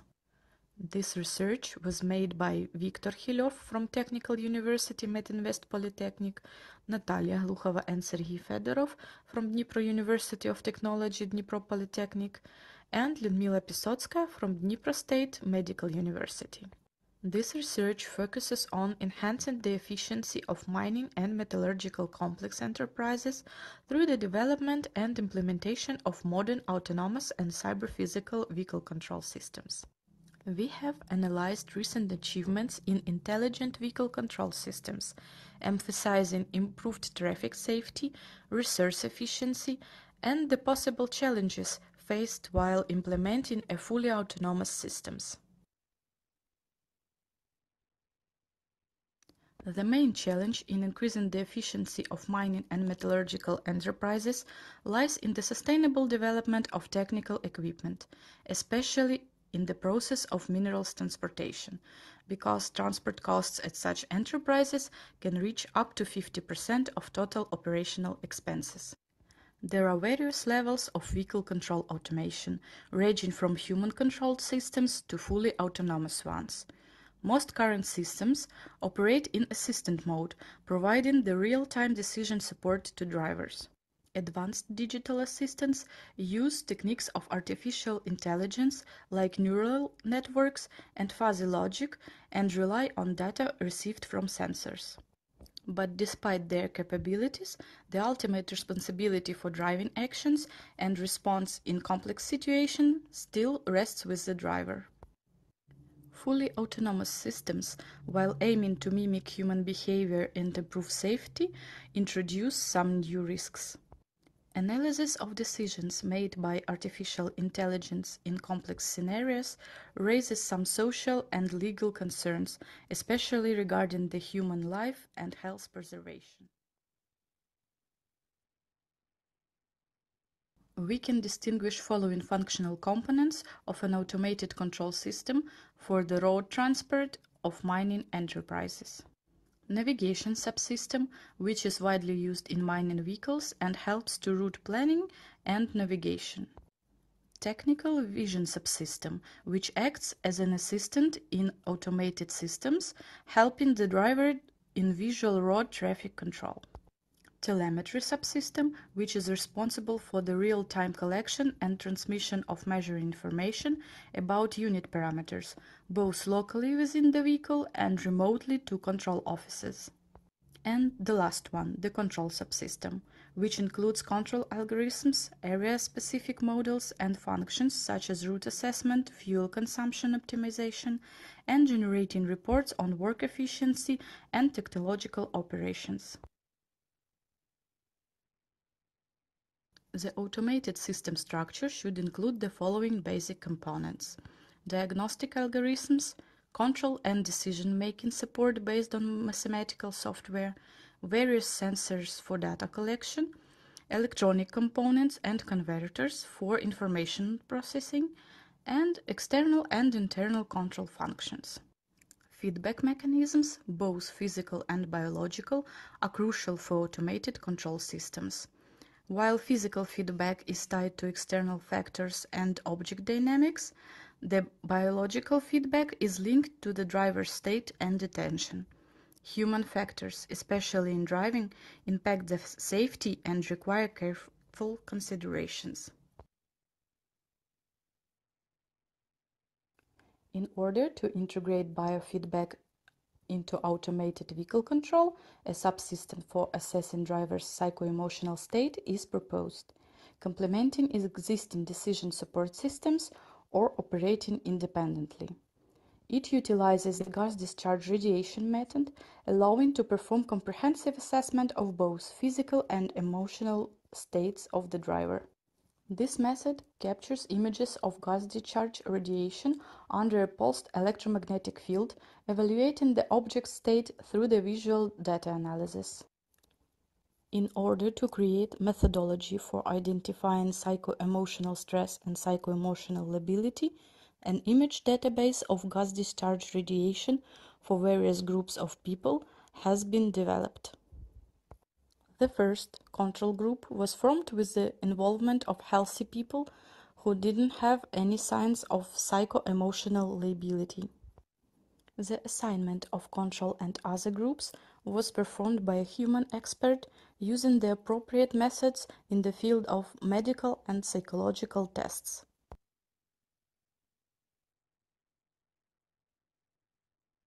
Now we will proceed to the main results of the research. Analysis of gas discharge radiation images revealed a symmetrical pattern in the control group's hand sectors, contrasting with the signs of symmetry disruptions in those with identified lability. The software was developed for automated image analysis, including preprocessing, sector highlighting, brightness profile formation, and parametrization of brightness features.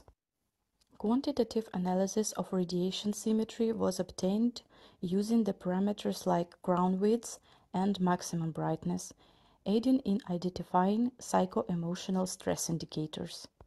This approach will allow us to identify a psycho-emotional lability through gas discharge radiation analysis.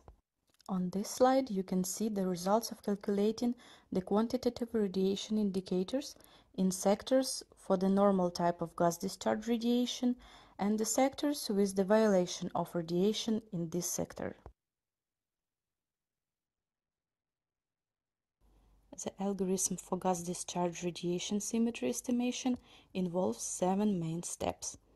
Sector identification and brightness profile creation, geometric feature calculation, photometric feature calculation, absolute and relative differences comparison between right and left hand sectors, statistical parameter calculation, and maximum difference estimation. Experimental results show that radiation may be absent in some sectors, making the median a more stable estimate than the arithmetic mean. Unlike the mean, which can be based by outliers, the median is less affected by extreme values, resulting in a more reliable estimate of crown width. Informative features can vary significantly among individuals, favoring the relative form of presenting asymmetry features. Experts can consider both individual and generalized parameters, such as maximum and minimum values, for comprehensive assessments.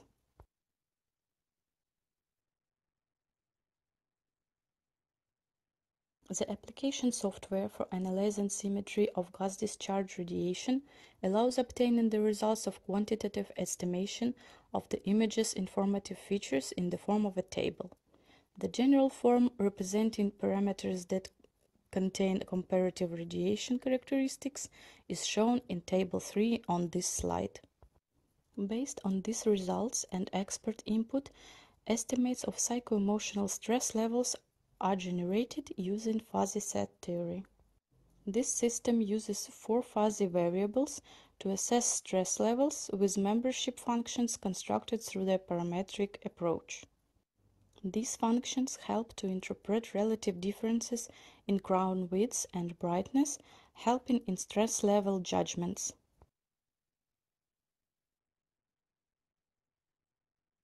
Based on the provided research, the following main conclusions can be made. The development methodology for analyzing the symmetry of geometric and photometric features on the images of gas discharge radiation makes it possible to implement in practice in the condition of enterprise an express assessment of psycho-emotional state of the mining vehicle drivers. The performed analysis of steps and peculiarities of modern cyber-physical systems development evidences the relevance of creating hardware-software systems, data subsystems providing feedback from biological systems, which are an important constituent link to uh, automated control systems. Based on the provided research, the following main conclusions can be made. The development of methodology for analyzing the symmetry of geometric and photometric features on the images of gas discharge radiation makes it possible to implement in practice an express assessment of psycho-emotional state of the mining vehicle drivers.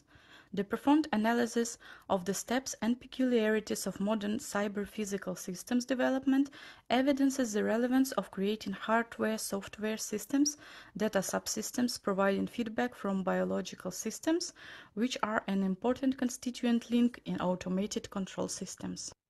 The organization of objective feedback, as well as express assessment of state of the person making decisions when controlling automated technological objects or processes, can increase the reliability and flexibility of the system as a whole. Also, the proposed approach to constructing feedback can potentially reduce the risk of accidents, which could result in damage to both the technological equipment and damage to health and life of a human. Thank you for your attention.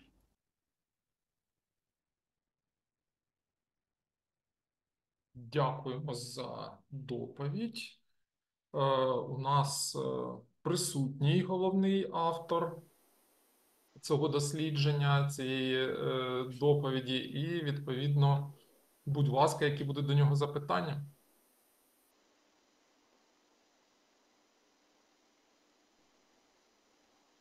Зрозуміло, починати знову мені. Так, пане Вікторе, наскільки я зрозумів, е, у вас е, ось е, розроблена, да, описана методика визначення стресу да, для відповідно водіїв, да, керманичів спеціалізованого цього технологічного транспорту. Так, Скажіть, будь ласка, от, е, наприклад, я водій е, цього самого транспортного засобу, я прийшов на зміну на роботу, і в мене визначають е, ну, якийсь там дуже прям зашкалює рівень стресу. Е, Які тоді будуть дії? Ну, тобто, мене замінять, мене не допустять е, до роботи. Е, Яким чином це буде от практично е, реалізовано на, на конкретному підприємстві? Якщо це якщо ви прийшли на роботу в такому стані, то проблеми нема. Значить, визначається ваш стан, і ви до роботи не допускаєтесь. А от якщо в процесі руху вантажівки такий стан визначає, то це може призвести до великої небезпеки, тому що рухаються великі е, маси. Ми можемо ці велика енергія може наробити е, е, великі руйнування. Наша методика е, е, на методу газорозрядного випромінювання. Тобто ми можемо в процесі руху е, великовантажної е, е, значить, е, значить, е, нашої вантажівки можемо оцінювати стан водія, а не, а не до того, як е, коли він сів за кермо. Якщо щось його там збентежило, то він може вийти з цього состояння е, і ви, значить, ми оцінюємо состояння в процесі руху водія, а не до того, як він сів за кермо. На підставі методу газорозрядного випромінювання, ну, який дозволяє нам комплексно оцінювати такий фізичний стан е, водія. Значить, метод сам ґрунтується на отриманні зображень цього випромінювання при зовнішньому впливі імпульсним електромагнітним полем високої напруженості. Значить, е, зараз вже розроблені сучасні прилади для реєстрації такого зображення газорозрядного випромінювання. Вони вже апаратно реалізовані. І може бути безпосередньо е, провадження е, в, в цих вантаж, ван- е, великовантажних е, машинах. Значить, е, ми можемо отримати зображення цього випромінювання і е, сравнювати це випроміння, коли водій в нас знаходиться в стані спокійному, і водій знаходиться в стані е, такому е, збентеженому. Якщо м- водій переходить до такого стану, то це то треба накладати обмеження е, на е, можливість е, керування таким водієм вантажу. От така ідея нашого дослідження. Добре, дякую.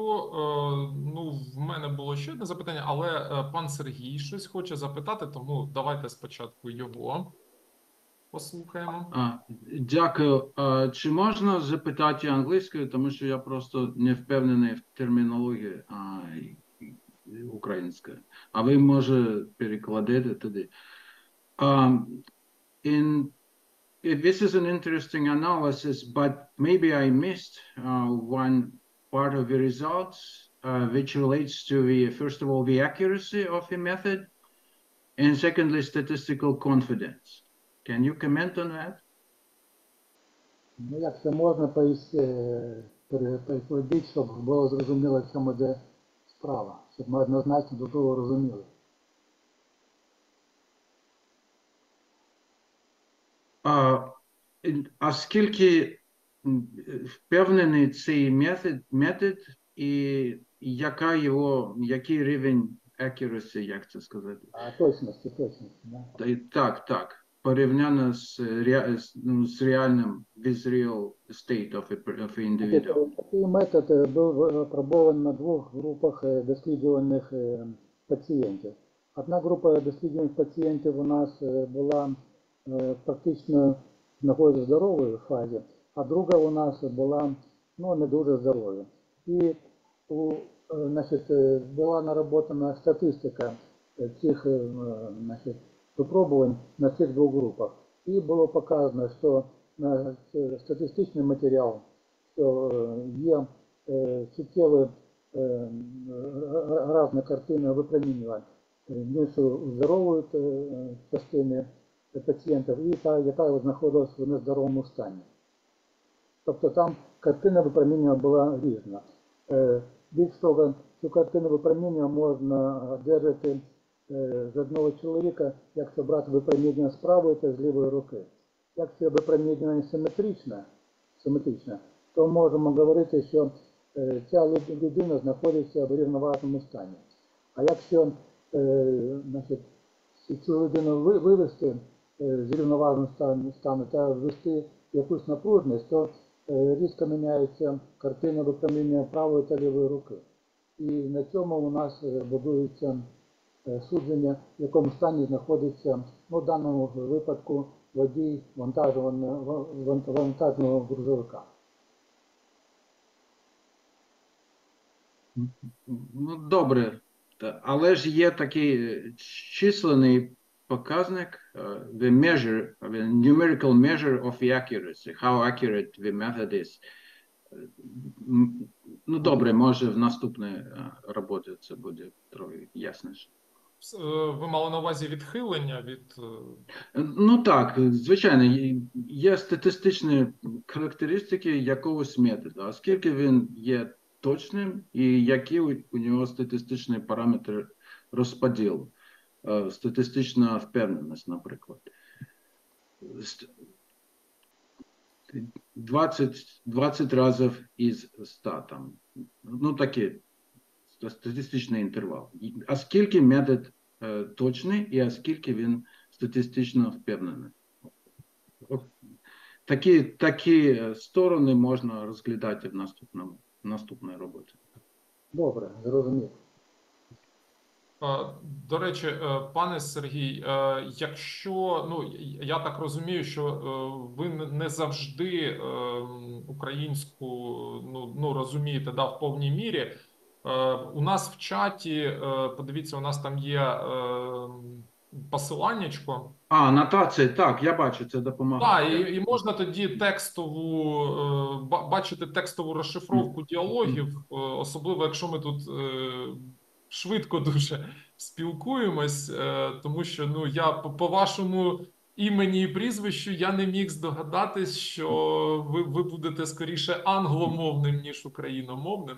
То тому е, ну про всяк випадок ми запустили цього е, бота, але якось я, я не підозрював, що. Ну, Е, що От нас- бачите, він дійсно корисний, тому що так допомагає ну, розуміти. так, так. Ми, ми намагаємось трошки так штучний інтелект, щоб працював на, на благо на наших відвідувачів. Так, е, до пана е, Віктора, чи будуть іще запитання? Так, ну е, в мене скоріше не запитання, таке е, більше побажання. Таке Е, Хоча не знаю, до, яких наслідків би призвело, наприклад, якби це побажання здійснилось. Е, Ну, е, пане Віктор, а от е, тільки е, ну я розумію, що ви як е, людина, яка більше пов'язана з е, промисловістю, да, от з дослідженнями в цій сфері, то ви, звісно, розробляли е, цю систему для водіїв е, вантажних автомобілів промислових. Е, Для громадського транспорту нічого такого не впроваджується, чи може вже були такі розробки? Розробок не було, але ж нема ні ніякої, так сказати, е, різниці, е, хто знаходиться за ру- за рулем. Головне, щоб була апаратура у нього. І можемо аналізувати стан е, не тільки водія вантажівки, а водія, а водія легкового автомобіля. Там, там нема різниці. Ну, я, я просто до того, що водій е, вантажівки їде собі е, десь там в кар'єрі, да, везе руду, і якби ситуацій, е, які викликають стрес, у нього можливо не так багато. І я собі уявив водія маршрутки, який намагається порахувати лівою ногою решту, а правою при цьому ще кермувати і вказувати іншим водіям, куди їм їхати. Тобто, якби боюсь, що ця система б там би такі б рівні фіксувала, що ой-ой-ой. Ну, ну тобто, а в цілому можливо, да, для да, не- не- немає ніяких е, припон. Добре. добре, дякую. Вам теж дякую. Так, переходимо тоді до нашої е, наступної доповіді, е, яка буде е, стосуватись. Ну, у нас дві доповіді поспіль. Фактично будуть вони будуть е, стосуватись е, оцінки викидів вуглекислого газу при різноманітних е, от, е, транспортуваннях, тому числі зернових продуктів та інших подібних об'єктів. Увага на екран, будь ласка.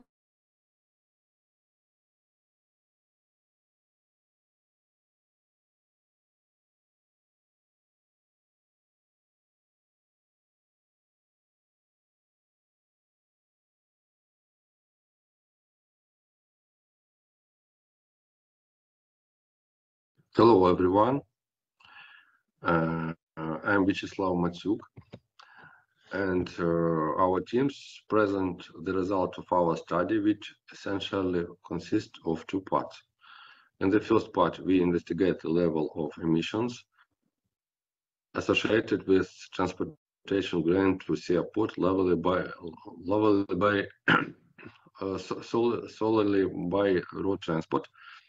In the second part, of the following report, we forecasted a reduction in emissions level, emission levels through the most rational, in our view, method of delivering grain within global supply chains from Ukraine.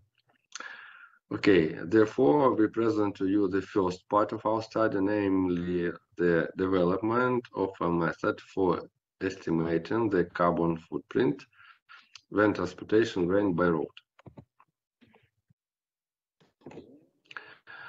The main task. This method of transportation is quite affordable and therefore probably very popular in Ukraine. Uh, the questions of estimating the level of carbon emissions is quite important and relevant. This uh, transport technological line uh, include two subsystems. Uh, first subsystems, it's distribution, transportation, grain from produces to land point of concentration of cargo mass by road. And second uh, subsystem, it's sea line, mass transportation of grain by sea lines. Optimization model. Objective function including two uh, functions. Uh, first functions, uh, it's uh, uh, functions for time delivery by road and second functions, it's time delivery by sea line. And have some requirements. The most important requirements, first, all of uh, units of vehicles must be uh, have mm, must must have uh, optimization or or optimized utilization more than uh, rational line limit of uh, vehicle fleet utilizations and less than limit of reliability.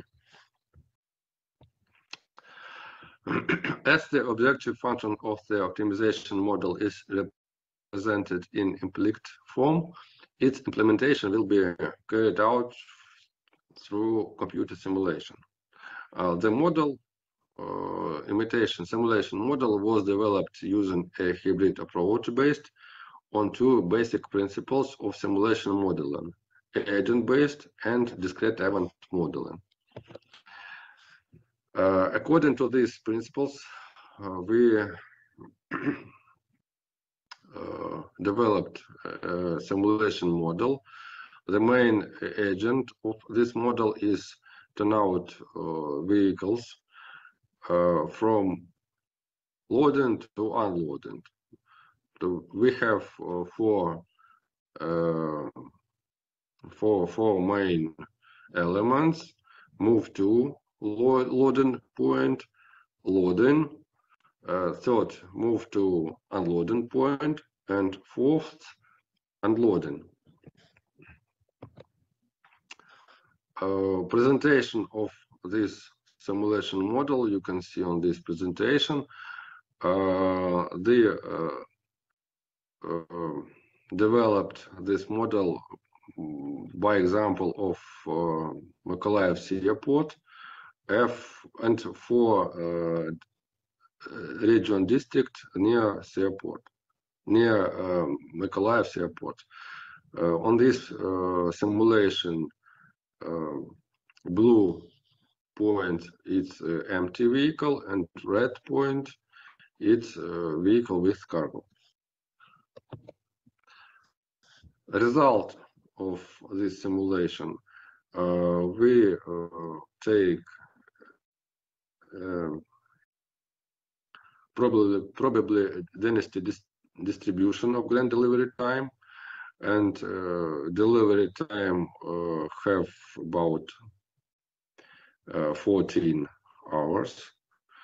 Uh, and the most maybe the most important result of our simulation is carbon emission on uh, one tons of cargo delivery and uh, on uh, per per 1000 ton kilometers kilometers.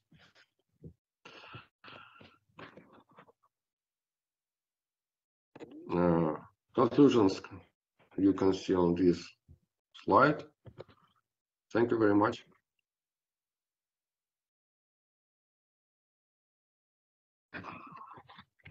Hello everyone uh, let me introduce myself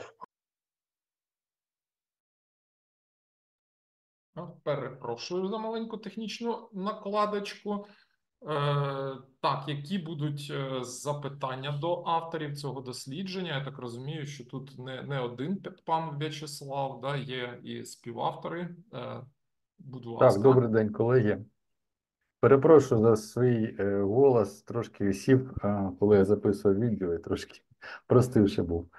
Ну, сподіваюсь, е, поясню, якщо є питання якісь до нашої презентації.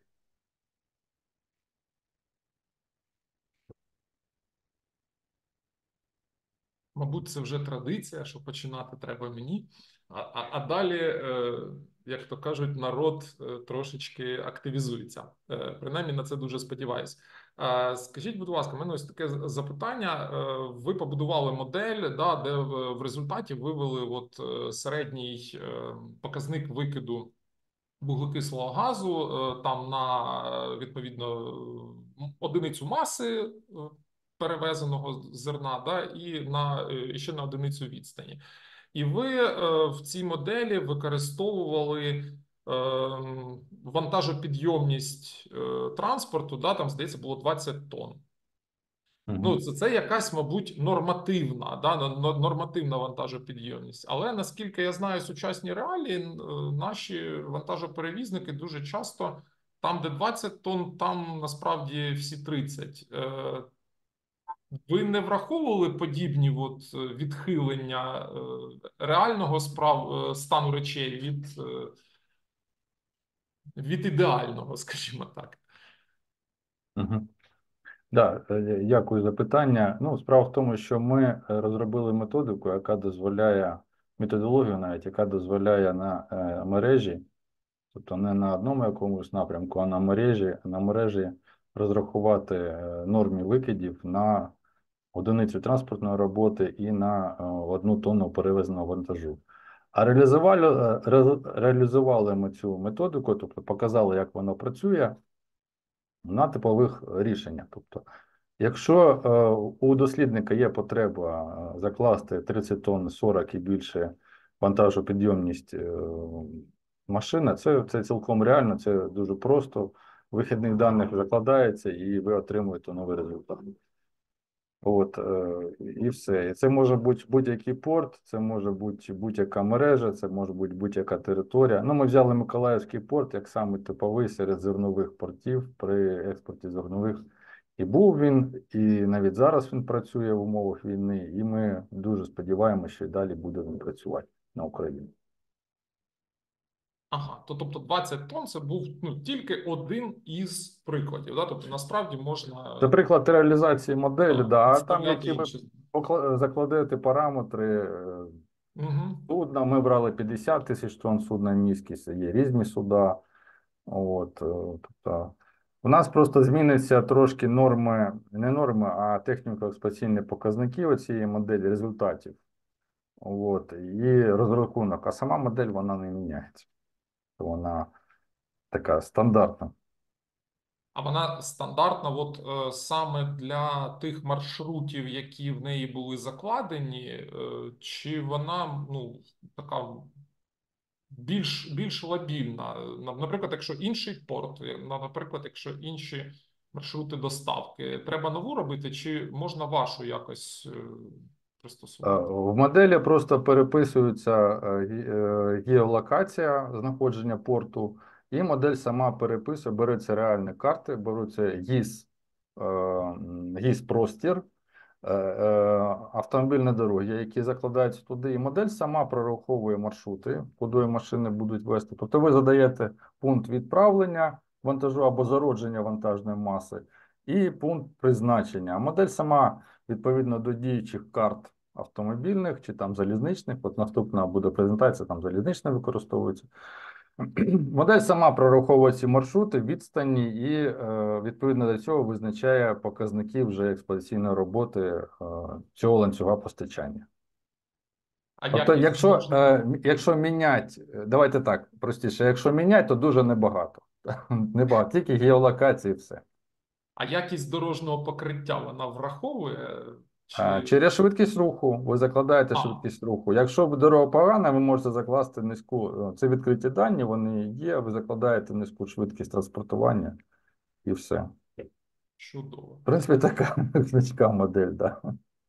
Дякую, дуже цікаво. Я, я, я на жаль, від е, транспортних таких питань е, до, досить таки далеко, але от, е, от в даному випадку дуже цікаво, як воно те все працює. Ну, справа в тому, що от задача була оцієї першої частини довести, що е, оця модель доставки, вона найбільш популярна зараз в Україні, вона не рентабельна, не, не доцільна і взагалі е, ну, ненадійна, скажімо так. У нас при моделюванні кожні приблизно два місяці модельного часу виникав колапс, коли от там на моделі видно, що всі е, машини стояли в порту і вся система зупинялась.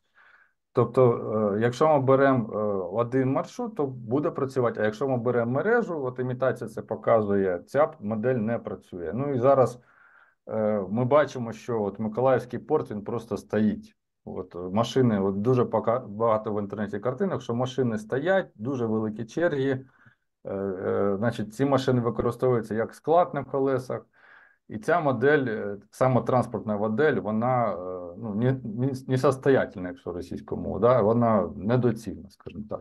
Оце перша частина нашої е, роботи довести, що це неможливо або недоцільно, як мінімум, скажімо так. Дякую. Е, Чи будуть у інших колег запитання?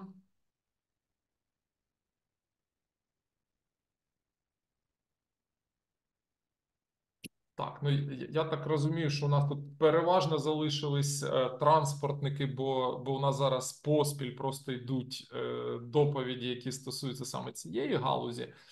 Так, ну е, оскільки я так розумію, що друга доповідь вона також е, дотична до першої, да, то, може зараз е, колеги такі надумають ще якесь за- запитаннячко і зададуть або стосовно другої, або стосовно першої. Так, пробую запустити другу доповідь.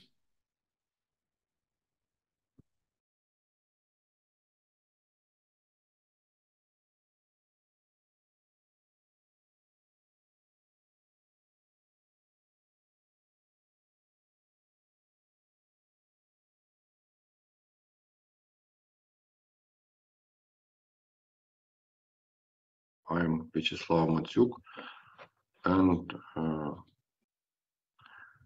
this is second part of our study, uh, and we forecast on this study, we forecast a reduction in emission levels through the most rational, in our view, method of delivering grain within global supply chain chains from Ukraine. Uh, we set out we in this study um, there are there are uh, two scientific tasks tasks in this study. First to develop develop a mathematical simulation model of multimodal grain transportation involving road rail and water transport. And third task task develop a math methodology for assessing the negative impact of the transport sector, sector in multimodal grain transportation.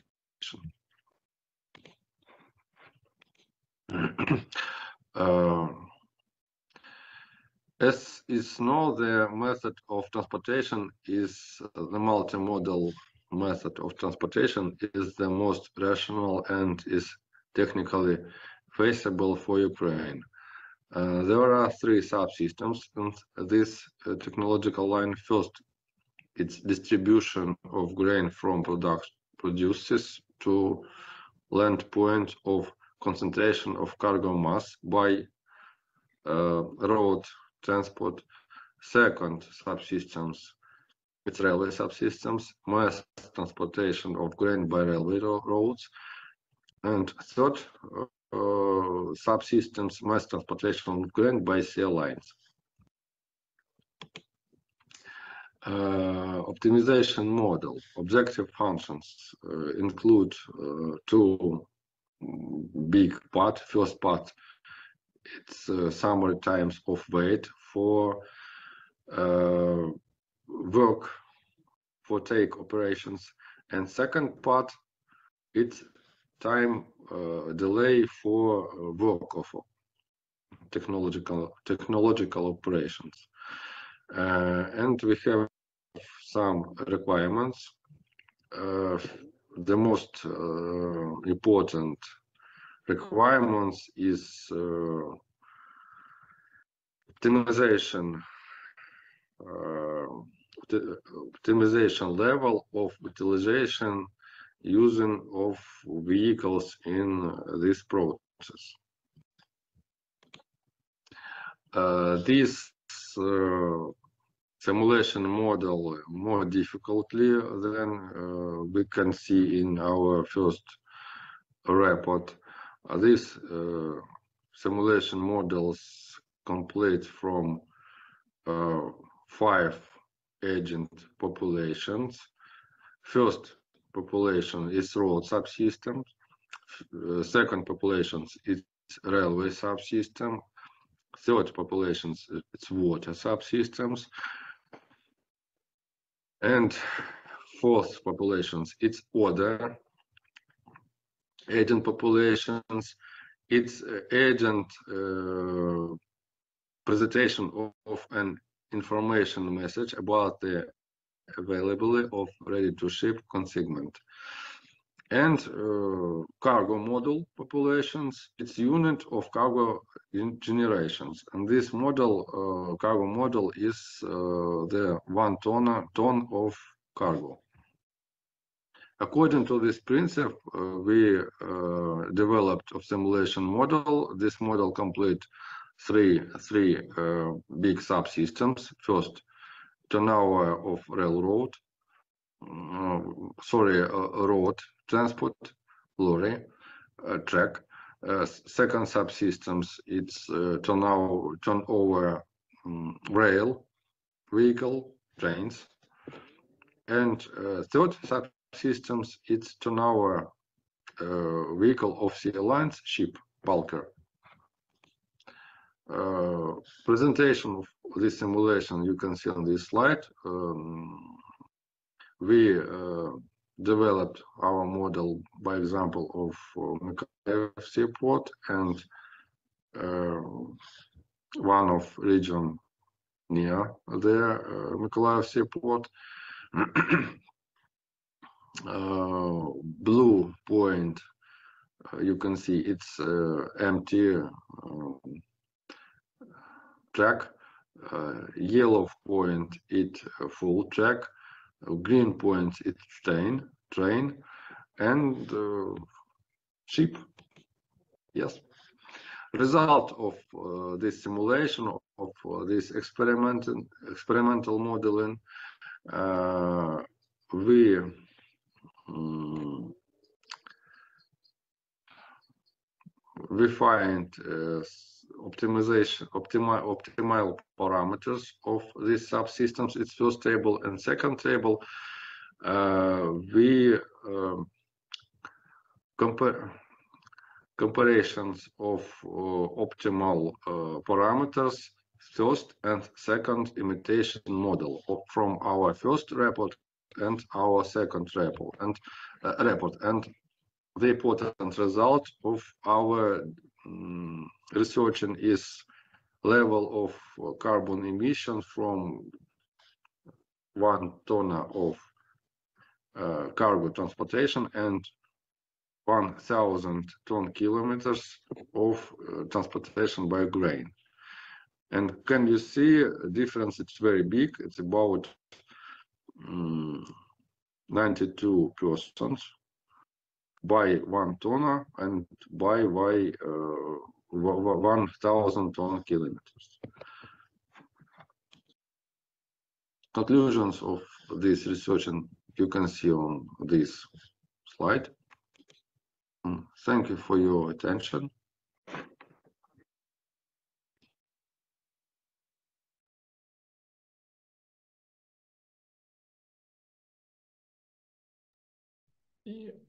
Вам ще раз дякуємо за доповідь.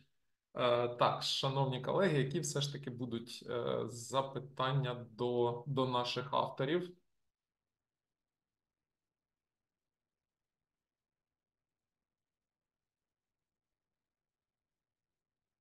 Так, щось, щось у нас е, транспортна частина е, трошки вже чи втомлена, чи я не знаю.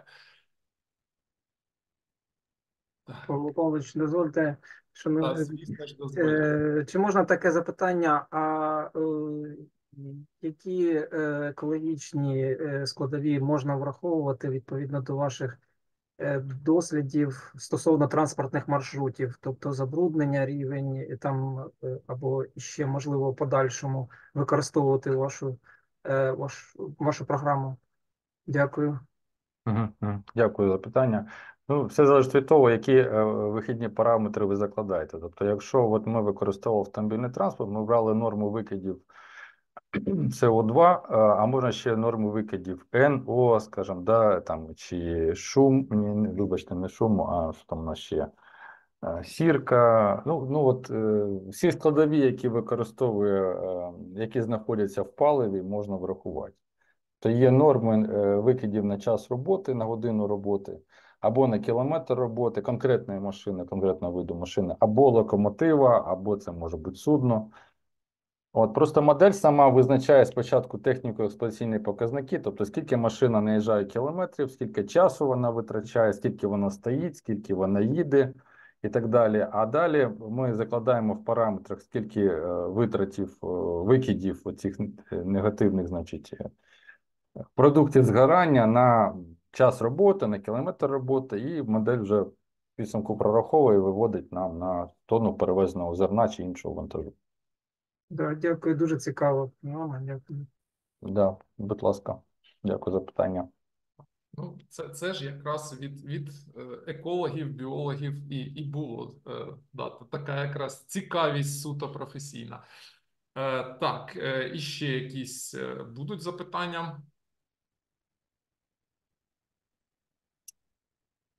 Так, запитань, е, я так розумію, наразі нема, тому е, дозвольте перейти до наступної нашої е, доповіді. Вона буде стосуватись стратегічних підходів до організації роботи якраз уже залізничного транспорту.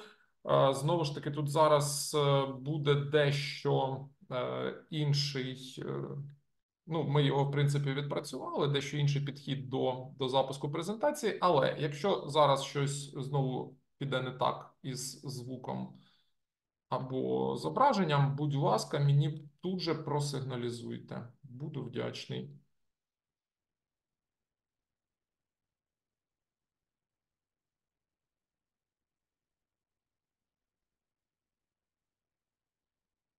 Dear conference participants, I would like to present to you research work prepared by Striko Oleg, Muzikin Mikhailo, Nesterenko Galina, Bibik Svetlana, and Solovyova Alexandra on the topic Strategic Approach to Sustainable Development of Railway Transport and Optimizing the Use of Empty Cars in Organizing Transportation of Dangerous Goods. Under present day condition in the development of the transport market, organizing the transportation of dangerous goods by rail is an urgent task considering the specific properties of the impact of dangerous goods on technical devices, human health and the environment. Transportation of dangerous goods, including railway transport, is a necessary task in the context of sustainable development of transport, since ensuring the sustainable organization of such transportation will maintain the health of personnel and the population, exclude negative impacts on the environment, and take all necessary actions to prevent the occurrence of an emergency.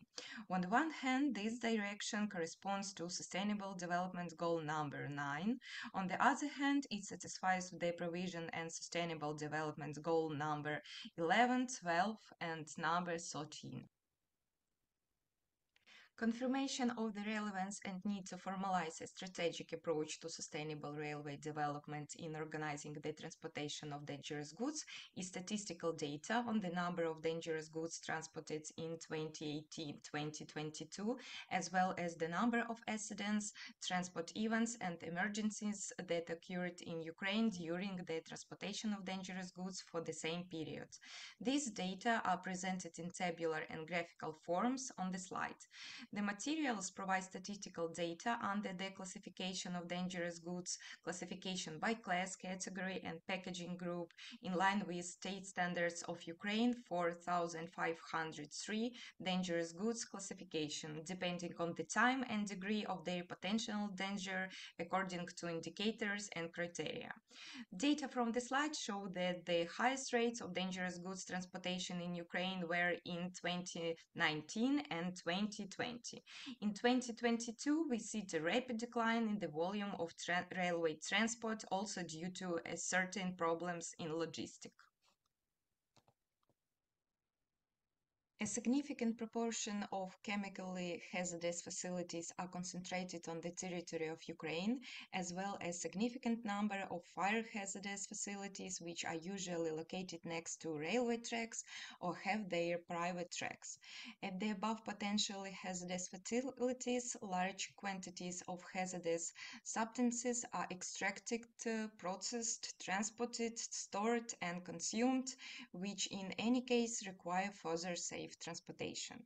Considering the above, in modern conditions, it is especially relevant to review the current technology for transporting dangerous goods, including in bulk, along the Ukrainian railway network, and to find ways to improve it to prevent the occurrence of emergencies, which increased in the period from 2018 to 2022 by 22%, what can be clearly seen from the figure on the slide. It should also be noted that complex European integration processes relating to Ukraine and its transport system, different levels of economic development, and the characteristics uh, of their productive and consumer specialization in the EU countries and Ukraine will lead to the fact that the volume of transport of dangerous goods in Ukraine and beyond will steadily increase. This requires the search for effective tools to optimize the organization of dangerous goods transportation by railway in Ukraine. Based on the above statement of the research problem, the purpose of this work was formulated, which is described on this slide. As a result of considering the features and main problems when transporting dangerous goods by rail, including the influence of the human factor, failures of technical equipments, and uh, the level of the reliability of rolling stock, the need was determined to create a system that would prevent uh, transport incidents when transporting dangerous goods and undoubtedly reduce the environmental impact and economic damage. The operational control system for the transportation and temporary storage of dangerous goods includes a set of technical system, devices, and measures to monitor the condition and location of dangerous goods, determine the one set of emergency, pre-emergency situation and accidents, process information and transfer it to dispatch control centers for developing solutions to prevent emergencies, localize and neutralize the consequences of accidents. In the current operation conditions of railway transport, in order to organize all operational work and operational planning, it is necessary to have timely and accurate information about the placement and condition of cars, locomotives, the condition of facilities and technical equipments, information about the progress of loading and unloading, etc., for the purpose to, of timely implementation of management influence. The distribution of empty cars is a key and rather complex management task, the rational organization of which is also one of the sources of reducing costs and car turnover. Based on this, we propose an optimal solution to the problem of distributing empty cars on freight points as one of the methods for optimizing the organization of transportation of dangerous goods by railways. The formulation of the problem of distributing different types of cars to cargo points depending on the static load in a mathematical formulation is presented on the slide. The main goal of drawing up an optimal allocation plan is to minimize the number of empty cars required to transport a given amount of freight if restrictions are imposed on the number of cars. In this case, at each freight point, there is only one type of freight, the statistical load of which, when transported in cars of the ITH type, is given, and the cost of supplying empty cars are neglected. The source of empty cars arriving at the, the freight points at the station are both unloading points and cars arriving from neighboring station. If there is a shortage of empty cars, the problem of the type under consideration should be formulated differently, which is shown in mathematical formulation on the slide. In this formulation, the optimization problem lies in finding such indicators of the number of empty cars that would maximize the linear form number 4, representing the amount of freight loaded into the number of delivered cars. At first sight, the optimal choice for distributing empty cars cars that mostly satisfies the requirements for the best use of capacity and tonnage is one in which only cars of one type are delivered to freight points. However, with a significant number of freight uh, points and a lack of empty cars of the optimal type, constructing such a distribution plan using uh, heuristic methods seems impossible, and then the problem posed can only be solved using uh, linear programming methods since functional number 1 and uh, 4 and restriction number 3, 6 and 7 are linear. The final stage of this work was numerical example of the optimal option for distributing empty cars for conditions when there is a shortage of empty cars at the station. The solution to the problem can be systematized in four stages. At first, we substitute the initial data of the problem into expression number 3, 4, 5. Then we simplify the obtained results, after which the task has been reduced to determining two variables, y11 and y21, which would maximize the linear form that was obtained as a result of simplifications. Since the task has been reduced to determining two variables, it can be solved graphically, the result of which are presented in the figure on the slide. As a result of, of the joint solution of the equations, the coordinates of the points were obtained, which are the optimal solutions to this task. The main results from the implementation of the proposed strategic approach to optimizing the transportation of dangerous goods, which is determined by the implementation of an operational control system for the transportation and temporary storage of dangerous goods and the implementation of the optimal distribution of empty cars among cargo points are presented on the slide. It is also worth noting that the need for the modern development of railway transport and technological systems in a single transport space, the development and implementation of effective transportation process management systems require the creation of new and adjustment of existing methods for the distribution of freight and car flows. Therefore, with a view to optimizing the transportation process in railway transport in general and when organizing the transportation of dangerous goods in particular, the use of the proposed method for finding the optimal option for distributing empty cars according to the criterion of maximum static load is a relevant tool for supporting operational decision making, which will provide a solution to the important operational task of rational distributing of empty cars among cargo points. Thank you for your attention.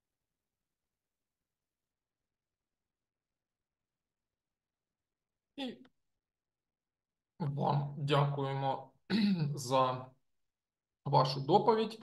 Е, Колеги, будь ласка, які, які будуть запитання?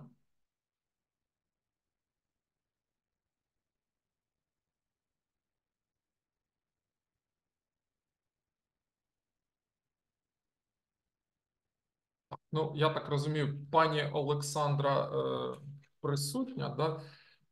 Готова відповісти.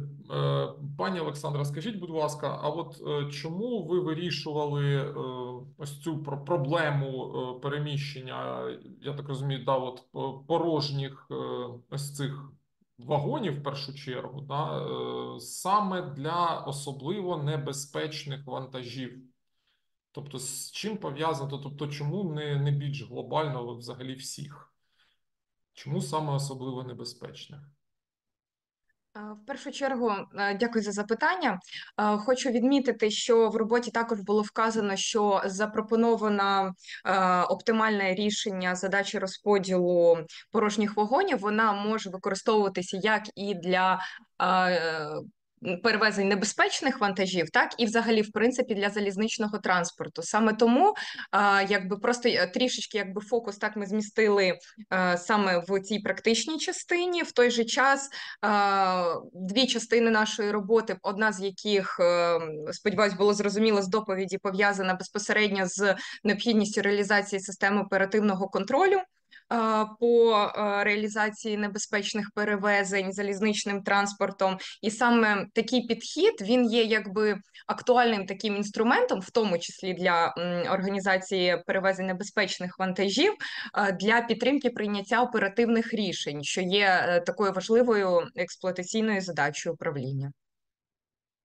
Ага, дякую. Бо, бо я чогось думав, що ви, можливо, так е, сконцентрували саме на цьому, бо там якісь е, спеціальні вагони. Думаю, може там е, от для цих небезпечних грузів, відповідно, е, для е, особливо небезпечних вантажів, да, є якийсь спеціальний транспорт, тобто обмежена якась кількість саме таких е, спеціалізованих, і тому ви саме на них сконцентрувались. От, ну, виявляється, Так, все не так.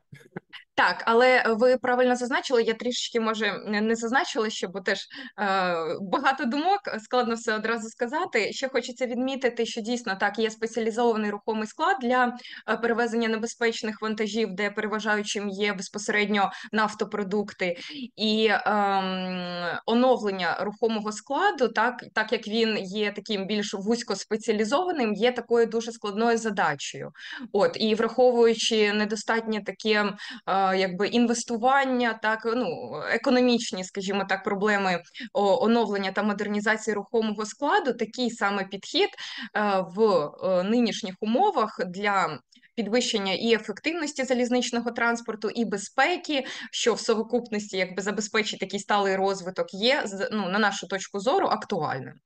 Звісно, хотілося б так оновити, закупити все сучасне, все нове, що можливо вже якби не виникало таких питань, але е, ну базуючись на тему на тому, що ми маємо, і враховуючи такі актуальні, якби сучасні обставини з фінансуванням і з усім, е, розглянули в даній роботі саме такий спосіб.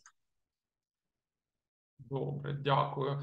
І е, дозволите питання, е, яке можливо е, не стосується безпосередньо вашої доповіді, от вашої роботи. Дозволите? Так, так, так, звісно, вибачте, бо мікрофон. Мені просто от цікаво, я дивився цю класифікацію е, особливо небезпечних вантажів. Ці от групи, я так розумію, що це десь регламентовано. Ну, певними нормативними актами. Да? І от мені от було цікаво, ну е, насправді безліч хімічних речовин підпадає одразу під дві е, або і під три категорії. Наприклад, яка якась там ну, ну от умовно е, азотна кислота, да, нітратна кислота, вона одночасно і окисник, і корозійно активна, і токсична. Як взагалі ця класифікація? Ну та, та там є якісь чіткі межі між ось цими категоріями, чи чи вона просто для зручності е, і, і просто в супровідній документації прописується, що це там вантаж категорії такої. Та...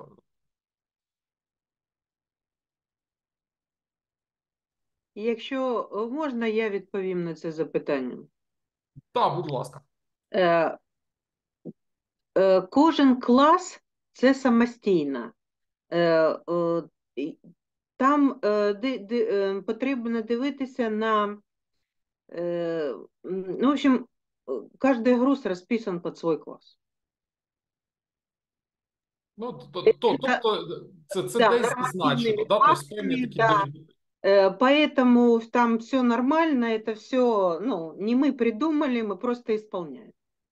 Ні, ну я ж кажу, мені просто було цікаво, як, як, хіміку, да, от е, деякі речовини, ну вони ну просто підходять там під половину списка. Думаю, куди ж їх класифікують тоді? Ну є, є же ж повинні бути якісь е, відповідні параметри. Добре, дякую велике. Е, Так, колеги, чи є запитання ще? Я дуже перепрошую, вимкнули світло якраз оце о 17 Якщо новини читали, в мене якраз попала я під роздачу. Перепрошую, на повербанк перемкнулась. Можливо, е, питання ще актуальне, чи можливо вже колеги відповіли відповіли. Вже Пані відповіли. Відповіла. Все добре, перепрошую, дякую. Та, та нічого страшного. Я ж кажу, у нас е, сьогодні і, відсутні, наприклад, от автори цілком можливо через те, що є якісь е, негаразди з е, інтернетом або електроенергією. Тобто, ми, ми, ми все розуміємо, все нормально. Е, Головне, що ми взагалі змогли це зробити, змогли. Вийти в ефір і відповідно цю конференцію провести. Я таким чином вас плавно підштовхую до того, що зараз ми перейдемо до фінальної на сьогодні доповіді. Ми вже і залізничний транспорт задіяли да, в наших дискусіях, і автомобільний, і морський. Ну і тепер настав час авіаційний. Увага на екран.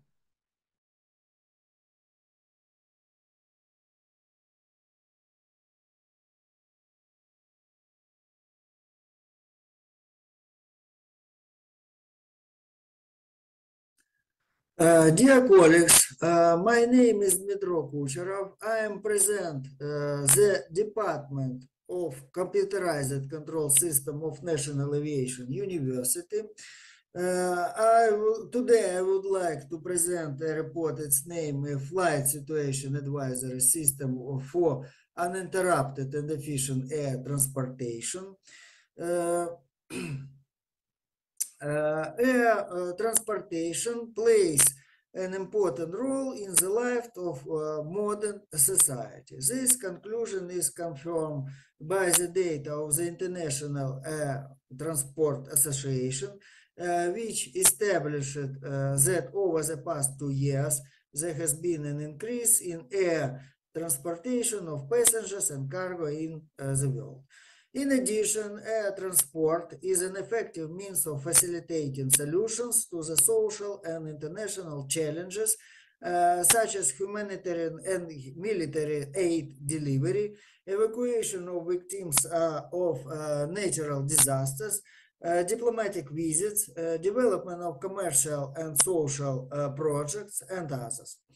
Uh, current trends uh, in air transport uh, development are aimed at reducing air emission and noise level of aircraft engines, development optimal strategies and road formation to reduce the cost of transportation, studying different flight and approach and landing scenarios, improving the quality of pilot training, studying technological and behavioral strategies aimed at solving uh, the needs of both the carriers and the passengers. Uh, many aircraft faults and failures uh, leading to serious accidents are not to so much of technical origin, but rather can be related to incorrect decisions and actions, improper crew activities, and other human causes issues. Thus, according to ICAO estimates, the human factor uh, can account for about 80% of all air accidents. Uh, the high organization of the management process stumble upon uh, unfortunate events related to the uh, human negligence, left figure on this slide, can be represented by James Reason's layer model of causality. Uh, the figure on the right side of this slide shows the typical human influence factors. Part of the problem and automation uh, of the solution was presented in publication uh, cases of modern computer system in aviation. Uh, one of the possible solutions for the accident-free operation of the air transport can be a creation of automated onboard systems, uh, such as advisory expert system uh, that could assist in both finding and executing the solution to complex flight situation based on the characteristic, uh, the prognosis of the flight situation and provide the crew effective with effective solution for the specific development flight situation. Uh, the purpose of the research is to design and create effective onboard, uh, onboard advisory expert system uh, that analyze real factors that uh, determine uh, flight uh, safety in the interest of development sustainable and acceptable air transport. Uh, a set of indicators uh, that effects of airplanes performance uh, includes reliability, safety, timing, and accuracy indicator for air transport operations. the loss of air transportation service L, mm, air transport safety ACE, Uh, T is a delay of uh, cargo delivery, passengers arrival on the final destination, and the uh, technical error uh, E. Uh, thus, the integral uh, indicator of uninterrupted uh, interrupted operation of air transport uh, that can be presented in the, by the formula uh, on this slide, uh, where alpha, beta, gamma, and delta is the scale weight coefficient. Uh, uh, the structure of proposed system is shown on this slide. This system includes the following subsystems sensory, including its sensory and sensors obtaining information from the outside world, data collection and analysis, uh, categorization and prioritization, uh, rules and knowledge uh, database, decision making and preparation of human friend, uh, friendly recommendations to the crew, including the specific control uh, commands. Typical flight parameter are uh, departure or and destination uh, airports, approximate takeoff weights, air temperature range, uh, flight route. Uh, the onboard advisory system uh, calculates uh, a numerical value of the priority of a typical situation based on data received from various types of sensors. Uh, based on the result of determining the priority of the situation, recommendation and action of the uh, crew, as well as command to the autopilot or formats that correspond to the specific situation. The priority values are normalized and are in interval uh, from 0 to 1 when the situation with the highest priority uh, has a value of 1 and the situation with uh, priority equal to 0 does not affect the uh, execution of the flight mission. Uh, the qualitative scale and the corresponding quantitative scale of priorities are presented on this uh, table. Uh, the priority of typical situation is calculated by the formula uh, first of this slide. Uh, in this formula, xy uh, is data from sensor. It is assumed that these data are in interval from minimal to maximal and um, uh, taking into account uh, identity, uh, the last formula on this slide. And this formula n is the number of the sensors. Uh, for the onboard uh, system under consideration, a limited set uh, of uh, generalized factors are introduced that character characterize the external situation, technical condition, pilot condition, and road change.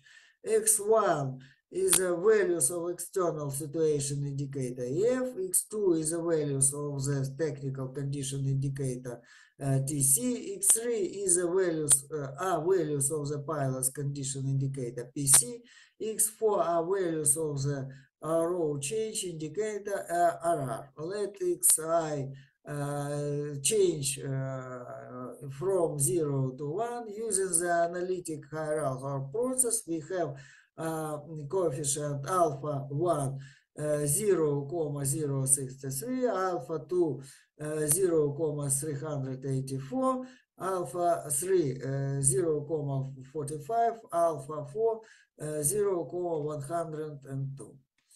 Uh, a uh, comparative diagram obtained by the calculation uh, using a proposed formula with finding coefficient alpha is presented in this figure. Uh, this figure uh, uh, confirms the priority of the human factors and the technical condition factor compared to other factors uh, when making decision in an onboard recommendation system. Uh, main uh, conclusion uh, uh, of this research presented on this slide. These are an important disti uh, distinguishing feature of the modern aircraft can be a presence of, an automated onboard flight analysis and recommendation system. The formation of recommendations is based on uh, an integrated view of the data arriving from the environment and the internal technical state of the aircraft. Several approaches to um, prior- uh, uh, prioritizing the evaluation of a real-time situation were proposed, described, and analyzed. In the future, uh, in the future, generation uh, generation of such system, current techniques for modeling and analysis uh, with uncertainty can be applied to situation assessment along the direction outlined of this work. Thank you for your attention.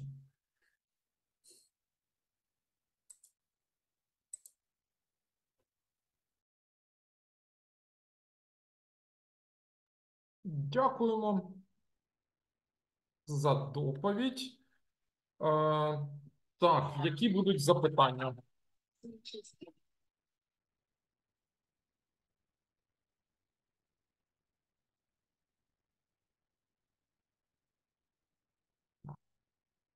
Е, Пане Дмитро, скажіть, будь ласка, ось ем, ваша е, ось ця консультативна е, система да, для е,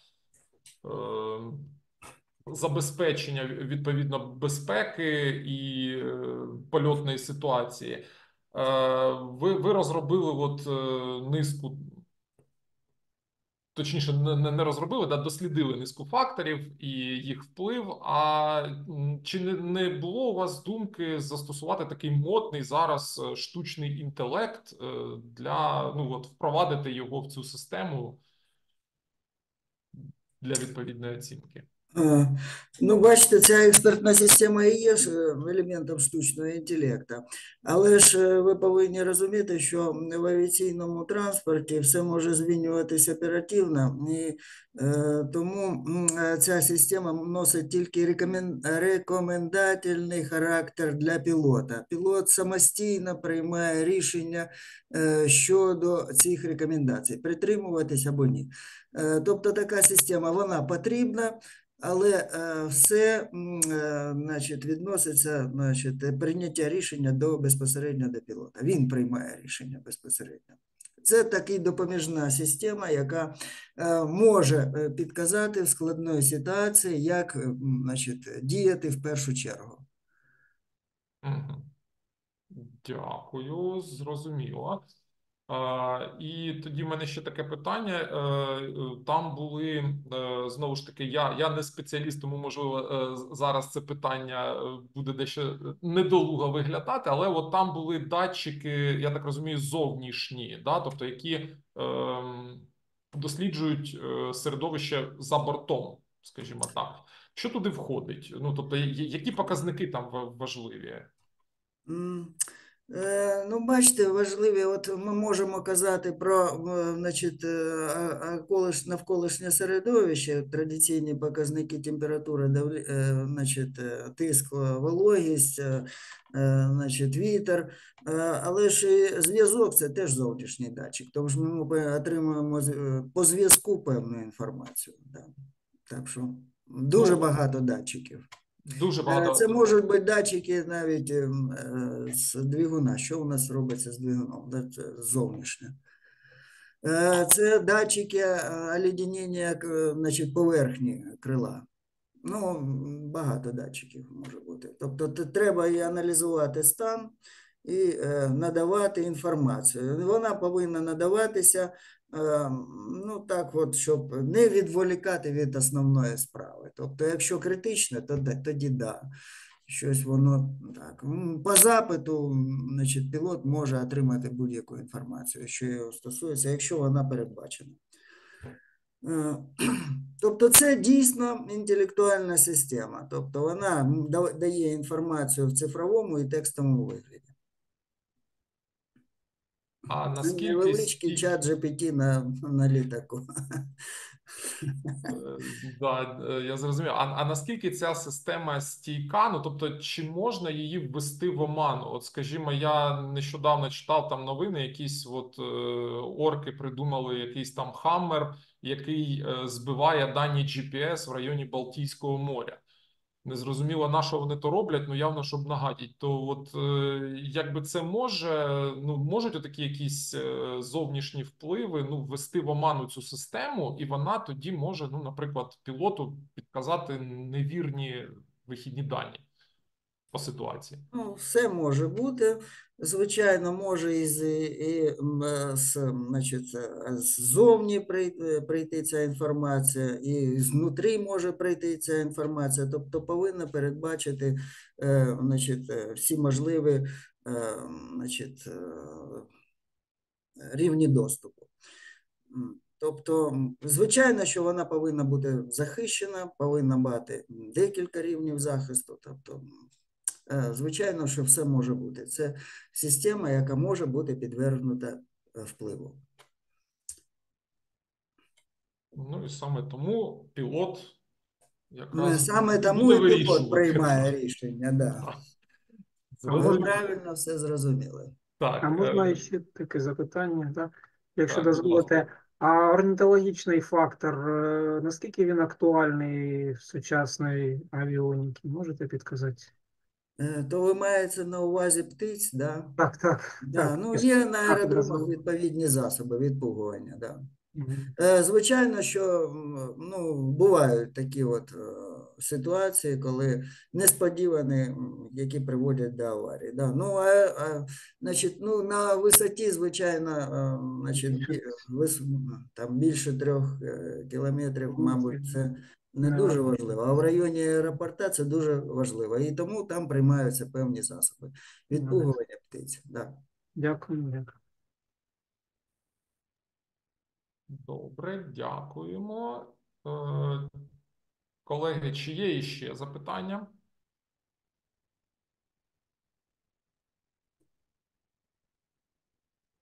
Так, ну, мабуть, є таке враження, що запитань наразі нема. А це у нас була заключна на сьогодні доповідь. Е, Дуже дякуємо авторам е, і, і цієї доповіді із Національного авіаційного університету, і всіх попередніх.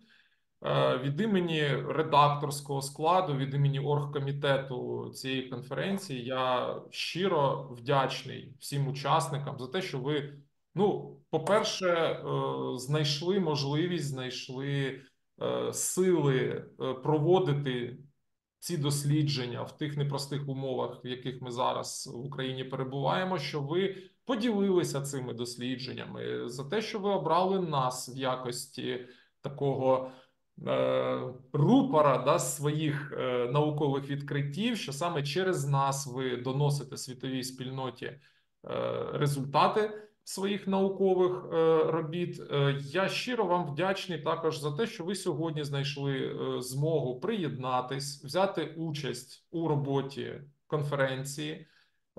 Дякую за активність і дуже сподіваюся, що ну можливо наступного року. Е, На жаль, я вже цю фразу кажу, здається, втретє. Але е, я дуже сподіваюся, що наступного року ми все ж таки будемо мати змогу провести е, нашу конференцію у форматі очного. Е, Ну або принаймні змішаному, але дистанційний він буде тільки для тих колег, які ну об'єктивно географічно дуже далеко і не будуть мати змогу приїхати. А всі інші відповідно е, обставини, які примушують нас бути виключно в онлайні, можливо, через рік їх уже не буде. Я дуже сподіваюся також, що е, всі ті автори, які були присутні сьогодні, що вони через рік порадують нас новими е, дослідженнями, новими дуже цікавими доповідями, гарними презентаціями. І ми іще раз зустрінемось і поспілкуємось з вами. Е, На цьому все. Щиро вдячний вам усім. Гарного тихого дня. Е, Дякую, до побачення. Да, і вам дякуємо за дійсно чудовий захід, за те, що ви організовуєте таку конференцію також. Дякуємо. Не було б вас, е, ми б не організовували конференції. Тому е, щира вдячність. Е, Дійсно, все було дуже цікаво і і, і варто уваги. Тому на все добре. На все добре. Дякую. До побачення. Дякую за е, гарну організацію і за цікаві доповіді. До побачення.